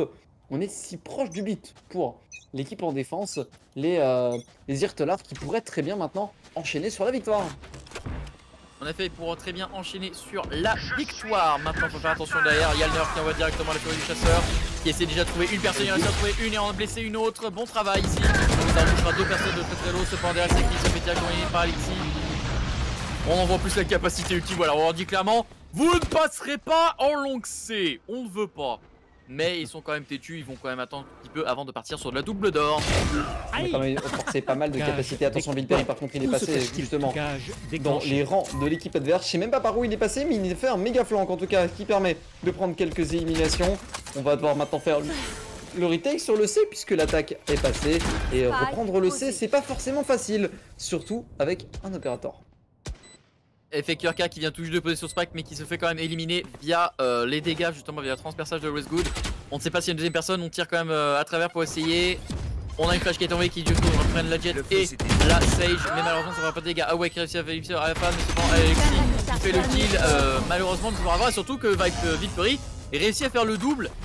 10 à 11 Est-ce que ça va partir en prolongation ou est-ce qu'on va avoir un 13-11 Gavin euh, MVP hein, du round précédent, il fait euh, le petit flanc qu'il arrive à surprendre, il donne le point C, hein, le site entier à son équipe, permettant ainsi de s'installer, de poser le spike et finalement de le remporter, même si ça s'est retrouvé être hyper serré. Un le retake qui était quand même pas si mal effectué par la défense. Malheureusement, on n'avait pas l'information de la position de Villeperi qui arrive à faire les derniers kills.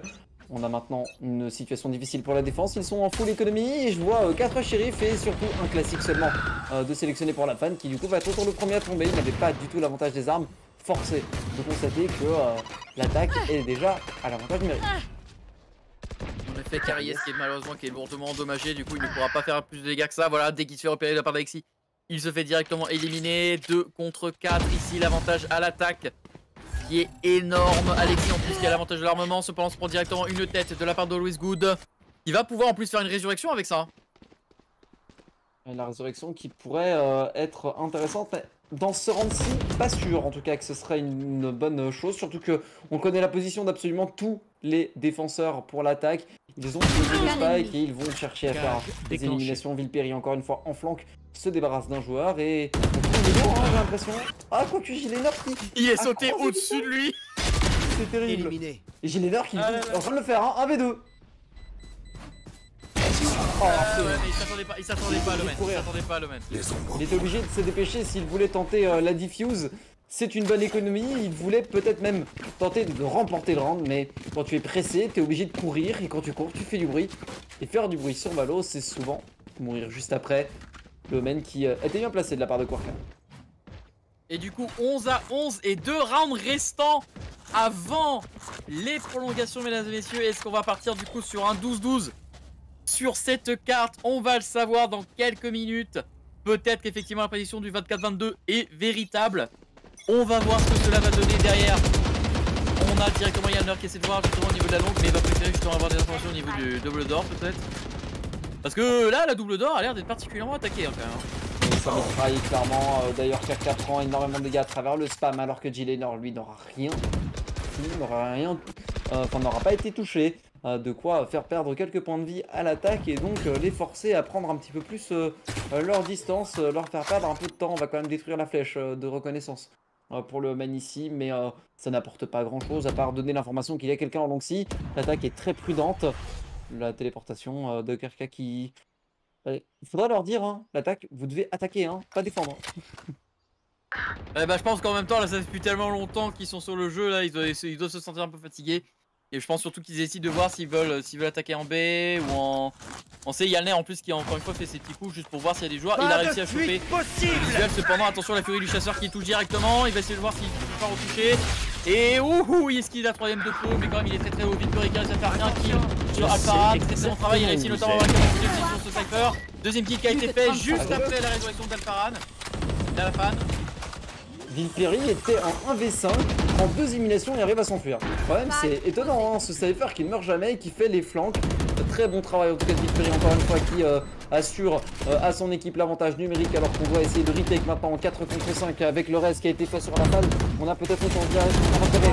Là, Rage ici qui va finalement tomber, mais elle prendra tout de même une élimination avant de tomber. 3 contre 3, Vilperi sur le site va courir et faire une élimination, il va enchaîner ensuite aidé euh, par Awake. Les éliminations sont faites et finalement les joueurs de Andy Pyro qui étaient menés Point gagnant. 3 à 9 sont en train de mener 12 à 11 et peuvent même remporter la finale sur ce round. Balle de match, Andy Pyro Academy versus Zirtolar. Balle de match justement pour Andy Pyro Academy. Est-ce qu'on va partir en prolongation? Les Zirtolar ici ont fait un énorme chemin et malheureusement vont être obligés de faire du full buy. Et pour faire du full buy, ils sont obligés de partir sur de la double judge et un bulldog. Est-ce que c'est possible? Est-ce qu'ils vont faire ce miracle et partir en prolongation? Ou est-ce qu'on va partir du coup sur un 13-11 On va le savoir dès maintenant, sachant que Louis Good est quand même assez agressif. Malheureusement, Sexby se fait déjà éliminer, partant déjà pour un désavantage pour cette équipe qui n'a pas la bas de match. Et Victory est déjà en train de s'installer sur le site alors que le Westwood va faire l'élimination. On équilibre les choses. On est très agressif pour Cariès qui fait l'élimination. Il a foncé dans la mêlée. Fait de nombreux dégâts à Awake, forçant euh, ce, euh, ce Phoenix à utiliser ses flashs dans son propre spawn. hein. On a gagné énormément de place, d'espace, de temps et même d'élimination pour euh, la défense. Mais attention, on a laissé complètement le site A.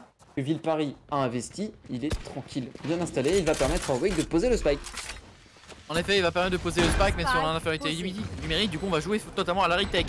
Qui a posé problème pour Alpha, pour Alafan et donc Alpharad sur un judge bah, ne va pas pouvoir faire tant de dégâts espérés. Ah, attention ici à la jet qui est, euh, qui est justement a réussi à, à prendre ce petit spectre. Il va essayer de faire des dégâts. La grenade gigogne qui malheureusement fera pas plus de dégâts que ça. Ça fera juste du décalage. On va essayer de faire des dégâts ici. Alpha, Alpha qui essaie de faire d'avancer. Il réussit à avoir une victory. Mais Carrière se fait éliminer. Pareil pour Louis Good. Alpha. Gianner qui réussit à faire les kills. Et du coup, on va de partir sur des prolongations. Et ils l'ont fait avec les pires armes ever. Un setup que l'on ne pensait pas chasseur. vainqueur et pourtant ils arrivent à égaliser 12 partout entre ces deux équipes. de côté. On va partir Prolongation. en prolongation et finalement du coup on va passer en attaque pour les joueurs des euh, Zirtolar. Ils vont investir immédiatement sur des armes tout à fait classiques. On va pas tenter euh, tu d'une sais, arme, le, merci. le Pirator Clutch euh, sans shield etc. Non, on va partir sur du classique, Vandal, Fantôme évidemment. Évidemment, petite pensée du coup à notre producteur Toulinus, qui, euh, Toonilunus, qui, euh, qui va du coup, à chaque round, il va devoir changer la couleur des équipes, étant donné que ça va changer à chaque fois. Petite pensée pour lui, parce que je sais que c'est extrêmement énervant de faire ça. Dans tous les cas, 12 à 12, mesdames et messieurs. Est-ce que ça va être un 14-12 ou est-ce que ça va être un 24-22 On va voir ça tout de suite ici dans les prolongations de cette finale, de cette quatrième journée. Ah là là là, la fatigue va-t-elle être l'acte décisif ou est-ce qu'au contraire le clutch va-t-elle être euh, mis sur place? On va savoir ça dans quelques instants. Villeperi qui, va gar- qui garde la longue C euh, d'une manière fumigènes. avec une caméra en angle cassé. On va directement euh, avancer sur le long si et on va essayer d'investir rapidement le site. Mais on va être euh, peut-être bloqué par ce Cypher qui va donner les informations rapidement. Et justement, on est euh, une position révélée pour Cariès. Vipero qui fait l'élimination. Pour l'instant, Cypher qui aura été euh, crucial à l'équipe de Andy Pyro. Mais il va finalement tomber. L'avantage numérique est pour l'attaque. Quoique on équilibre rapidement les choses. On va pouvoir poser le spike. Mais euh, on est peut-être déjà un petit peu en retard. La défense est revenue rapidement. Cette flèche électrique qui va toucher deux joueurs, je pense. Ah, la, flèche, la flèche électrique qui a réussi à toucher quand même un tout petit peu, mais attention au Sova qui est quand même très très low aussi au niveau de l'attaque. Yalner qui du coup va être obligé de se faire soigner par Sage et du coup de revenir vers la longue. Le plant a été posé, c'est pas parfait cependant pour faire de la, pour faire de la protection donc c'est surtout mais il faut faire attention puisque là, Alexis était justement derrière et s'attendait à ça. Oh, il a On déjà son ça ult. se permet de kill, est-ce qu'il va pouvoir le faire Oui, on réussit à faire un kill, faisant du coup un échange. Et derrière, du coup, la défense va pouvoir prendre 13 à 12, passant du coup en balle de match. On sait à quel point c'est dur d'avoir un ultime dans un round euh, de prolongation parce qu'on se retrouve toujours à la moitié Surtout du ultime. Surtout pour une race, c'est 8 Changement charges ultimes donc il est toujours à Point 4. gagnant. Donc il doit avoir 4 charges ultimes et ça veut dire qu'il a réussi à les avoir. Et il fait l'élimination en plus de ça donc mais quel travail d'Alexis qui vient d'offrir le round à son équipe. On était en 3 contre 3 et grâce à lui son équipe se retrouve en 2 contre 1. Donc clairement gros travail de cette race qui euh, aura euh, été le MVP du round précédent. On a l'avantage de nouveau une opportunité de remporter la finale pour l'équipe des Andy Pyro euh, Academy face à des Irtelars qui sont un petit peu en difficulté hein, depuis Ouais, ouais. En effet, on détruit automatiquement la porte ici à Double Door, c'est une tradition, on va dire ça comme ça. Karius qui va essayer de lui la longue, malheureusement, il se prend directement des têtes. Ah, pas bon signe ici pour cette défense qui n'est déjà pas, qui ne possède pas la balle de match, hein, du coup, ça va être un petit peu compliqué pour cette équipe de pouvoir vraiment euh, continuer dans cette lancée. On a un pic, mais derrière, on a préféré renforcer justement le point C. Du coup, au niveau de l'attaque, on est encore un peu euh, hésitant au niveau du pic, on ne sait pas trop ce qu'on ce qu'on va faire. Est-ce que du côté Andy Pierrot, on va push ou est-ce que du côté euh, bah, de la défense Désir Tolar, on va plutôt préférer euh, rester bien tranquille. Lancement des fumigènes. Puis on va poser euh, des fumigènes sur le long si du côté de la défense. Euh, L'attaque semble vouloir forcer justement sur ce long si. On va tirer à travers la smoke, euh, essayant de faire quelques dégâts, mais personne ne se monte du côté de la défense. Quoique Always Good aura quand même tenté un petit spam également, mais ça ne touchera personne. Et il réussit à avoir Alexis J'allais dire ça ne touchera personne, mais si en fait, ça, ça fait plus que toucher, ça prend un kill. On a sa position qui été révélée par contre pour Always Good qui va finalement tomber. À la fin, il fera le doublé avant de tomber à son tour. Spike à terre. 1 au C. contre 2, Kirka va devoir faire le méga clutch si on veut remporter le round là-dessus. Exactement, la grenade ici de Sekmis qui a été envoyée malheureusement, elle ne sera sera pas sur une zone où est justement cet Omen. Kyorka qui va peut-être faire le clutch pour pouvoir euh, remporter la victoire. Il peut remporter, faire, il peut faire remporter la victoire à son équipe, à lui tout seul. Il a la pression sur ses épaules. Les deux défenseurs arrivent en même temps coordonnés dans euh, justement, euh, justement bah, près de la double door. Il n'est pas au courant et derrière se fait directement éliminer par Sekmis. On va pouvoir diffuse 13, 13 mesdames et messieurs. La game est toujours en cours. Mais si dur, si dur entre ces deux équipes. On n'arrive jamais à remporter de rounds de d'affilée. Pour l'instant, on s'échange les coups depuis, euh, depuis quelques rounds maintenant. On n'arrive vraiment pas sur ces prolongations en plus euh, à s'imposer deux fois de suite. On va de nouveau revoir les armes sélectionnées. Euh, beaucoup de, de fantômes hein, quand même pour la défense cette fois-ci. Seulement une vandale pour Alexis. Le reste, c'est de la fantôme. Alors que pour les attaquants, on est un petit peu plus partagé. hein. Les Zirtelars qui vont préférer deux fantômes, trois vandales. Donc légèrement un avantage sur les longues distances. Ils vont visiblement se diriger sur A. Ah, ils ont l'air d'être full paquet de se diriger directement sur A. Cependant, derrière, on, a on s'attend quand même un petit peu, notamment pour essayer de récupérer l'orbe d'Alexis. Malheureusement, euh, Ziori se fera directement éliminer, mais sans quand même prendre le passage à la fan. Donc, on réussit quand même un petit peu à égaliser tout ça, sachant plus que la Sage est obligée de s'auto-soigner. Donc, on a un léger désavantage de quelques points de vie, hein, rien de bien grave. Alexis qui envoie sa deuxième, euh, sa deuxième sacoche explosif. Faut essayer de voir s'il peut pas faire des dégâts. Malheureusement, ça ne fera rien de plus que ça. Et du coup, l'attaque, bah, hésite. Hein, euh, ils attendent le signal pour pouvoir euh, faire une attaque. Mais prêt, je pense qu'ils vont plutôt préférer voilà, se retirer pour peut-être pas aller sur du middle ou voire même du C.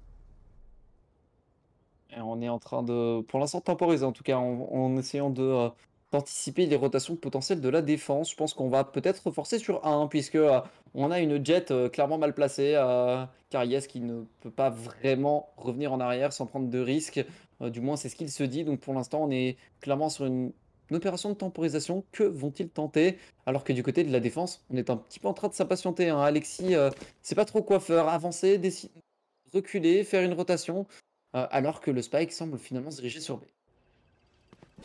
Effectivement, Plus le Spike a l'air 30 de se rediriger sur le point B. Malheureusement, le truc, c'est quand même, il y a pas mal de ressources au niveau de la défense, notamment déjà le Cypher. Et euh, le Phoenix, du coup, va falloir euh, bah, faire attention justement à ce que Wake euh, soit dans le bon angle pour pouvoir capturer tout ça. Oh, c'était quand même pas très loin du côté de la Viper de Sekmis. On a quand même réussi à ne pas se prendre de dégâts 10 derrière, qu'on a plus que secondes. quelques secondes de près. Carias qui a réussi à faire une élimination et du coup dans les dernières secondes, on va pouvoir plant ce spike. On va devoir jouer du coup à la retake. Est-ce que ça va pouvoir passer C'est là toute, la, toute la question est là. Et là, ils se battent uniquement pour avoir la balle de match. hein. Je vais te soigner. Oui, c'est un round sur lequel on a énormément de temporisation, etc. Alors que finalement, eh bien, ce n'est même pas pour remporter la carte, hein, ce n'est que pour prendre l'avantage pour ensuite la remporter. On est en 2 contre 3, la défense est en train de tenter le désamorçage. Dernier On a réussi à faire la moitié, mais ce sera insuffisant. L'attaque va finalement s'imposer grâce à Always Good et Sekmis qui tous les deux une élimination pour finalement l'emporter. Point gagnant. Et voilà, pendant qu'on rechange pour la quatrième fois le side en 4 rounds. 13 à 14, mesdames et messieurs. Est-ce que la défense va pouvoir justement remporter ce round? Et du coup laisser à Zirtolar la deuxième victoire euh, sur ce tournoi de la Corfin eSport Festival ou est-ce qu'au contraire on va devoir repartir à 14-14 et du coup remettre en jeu la balle de match On Ennemi saura trouvé. On a repéré en tout cas euh, l'attaque qui semble avancer, tout comme la défense est repérée également, mais elle s'est euh, très rapidement placée euh, sur le site A pour empêcher euh, de euh, prendre de l'espace. car Yes euh, va euh, essayer de faire des dégâts à travers la smoke, mais euh, on arrive à euh, faire euh, les dégâts sur D-Laner, qui sera le Et premier oui. tour. Mais Louis Good faire la vengeance à travers les smokes. On se débarrasse de Awake, qui n'a rien pu faire. Le pauvre euh, Phoenix, qui n'avait aucune information, n'a même pas eu le temps de voir les balles passer, qu'elles lui étaient directement arrivées dans la tête. Exactement, et du coup, ce, que ça va, ce qui va se passer, du coup, c'est qu'au niveau de la défense, on va être obligé, obligé bah, de, faire toujours attention au point A, mais au niveau de l'attaque, eh bien, on va plutôt garder euh, le Cypher et la Raise vers le point A pour éviter le, flanking, tandis que Kurka, avec euh, son Omen et surtout son Spike, avec le Sova, vont plutôt hésiter. Voilà, est-ce que- est-ce qu'on va partir au point, au B? Non, on va plutôt partir tranquillement au niveau du A. On va peut-être essayer de faire une, une fausse. euh, une fausse rota ici, Karies euh, qui se déplace un tout petit peu mais qui garde quand même le bon angle. Du coup, ça permet d'éliminer directement Vic Perry. Il essaie de faire une double élimination. Malheureusement, les trois personnes sont éliminées. Du coup, il ne reste plus que ce Omen de Kurka. 30 secondes. Cependant, un contre deux, il peut quand même planter le spike. Le spike est planté. Maintenant, il n'y a plus que deux kills à faire. Et il a sa capacité ultime aussi, hein, possible. Donc, s'il veut, il peut faire un méga flank. Faut C'est voir qu'il a déjà planté le spike, hein, c'est pas vraiment euh, le méga flank auquel on s'attend. Et là on va se retrouver à remporter la carte. Il ne reste plus qu'à désamorcer. Et ce sera fait 15-13 pour cette grande finale. Les Irtelars qui font prolonger un petit peu le plaisir en, ne désamorçant pas tout de suite mais c'est chose faite. La défense s'impose, les Irtelars aussi. 15 à 13 sur cette troisième et dernière carte de la finale. C'était une finale très serrée, 13-8 sur la première carte, 6-13 sur la suivante, pour finalement avoir un 15-13 en faveur de Zirtelar. C'était serré, mais qu'est-ce que c'était beau, qu'est-ce que c'était intense, avec des clutches un petit peu partout entre Alexis, euh, euh, et même Vilperi qui ont fait les méga clutches de cette carte de Haven. On peut le dire, c'était une map impressionnante. Exactement, c'était une map qui était très très très impressionnante. Du coup, l'équipe des Andy, Andy Pyro Academy remporte cette finale. C'est pas le 22-24 que j'ai call, mais quand même, je sens, euh, on sent quand même la petite peur du côté de Dams qui se disait oh non, oh non, ça va durer 3 heures. Un match qui va durer 3 heures alors que c'était simplement un BO3. Et ouais, mais c'est ça l'esprit de Valorant et surtout, ça me fait beaucoup plaisir parce que quand on regarde le tableau des scores, en fait, on voit que c'est pas euh, toute une équipe qui est au-dessus et toute une autre équipe qui est en dessous. C'est vraiment entremêlé de chaque joueur, euh, de chaque équipe. C'est vraiment assez complexe et du coup, ça a amorté une finale qui est vraiment très très bonne. Ça a fait plaisir de voir un match aussi serré. Justement, on ne s'attendait pas qui allait sortir vainqueur. Et euh, je pense qu'on va faire court parce que mon cher Dams, je crois que tu es, t'es un petit peu occupé ce soir et moi je suis aussi un petit peu fatigué. Eh Bien, il est tard, nous sommes fatigués, donc nous allons vous laisser là pour ce soir. Merci à toutes et à tous d'avoir suivi les derniers jours de compétition. Si je ne m'abuse, euh, on ne castera pas le dernier jour euh, du Corfin Esports Festival. Donc pour, Valo cette semaine, c'est terminé. Merci à toutes et à tous de nous avoir suivis durant ces derniers jours de compétition. Donc vraiment pour le dernier jour qu'on casse, je pense qu'on a été servi avec du très très beau jeu. C'était un plaisir euh, de commenter cette euh, demi-finale et cette finale ce soir en ta compagnie, mon bon Joster. Franchement, euh, très impressionné par le niveau des équipes sur le dernier jour de la compétition. Elles nous auront tenu jusqu'au bout et ça a vraiment fait plaisir de voir un tel niveau de jeu, un match serré. C'est tout ce qu'on demande généralement quand on regarde un match e-sport. Et là, on a été servi. Merci de nous avoir suivis. On va vous laisser là pour ce soir. Passez une bonne fin de soirée, une bonne nuit et on se dit à très très bientôt sur le champ de bataille. A plus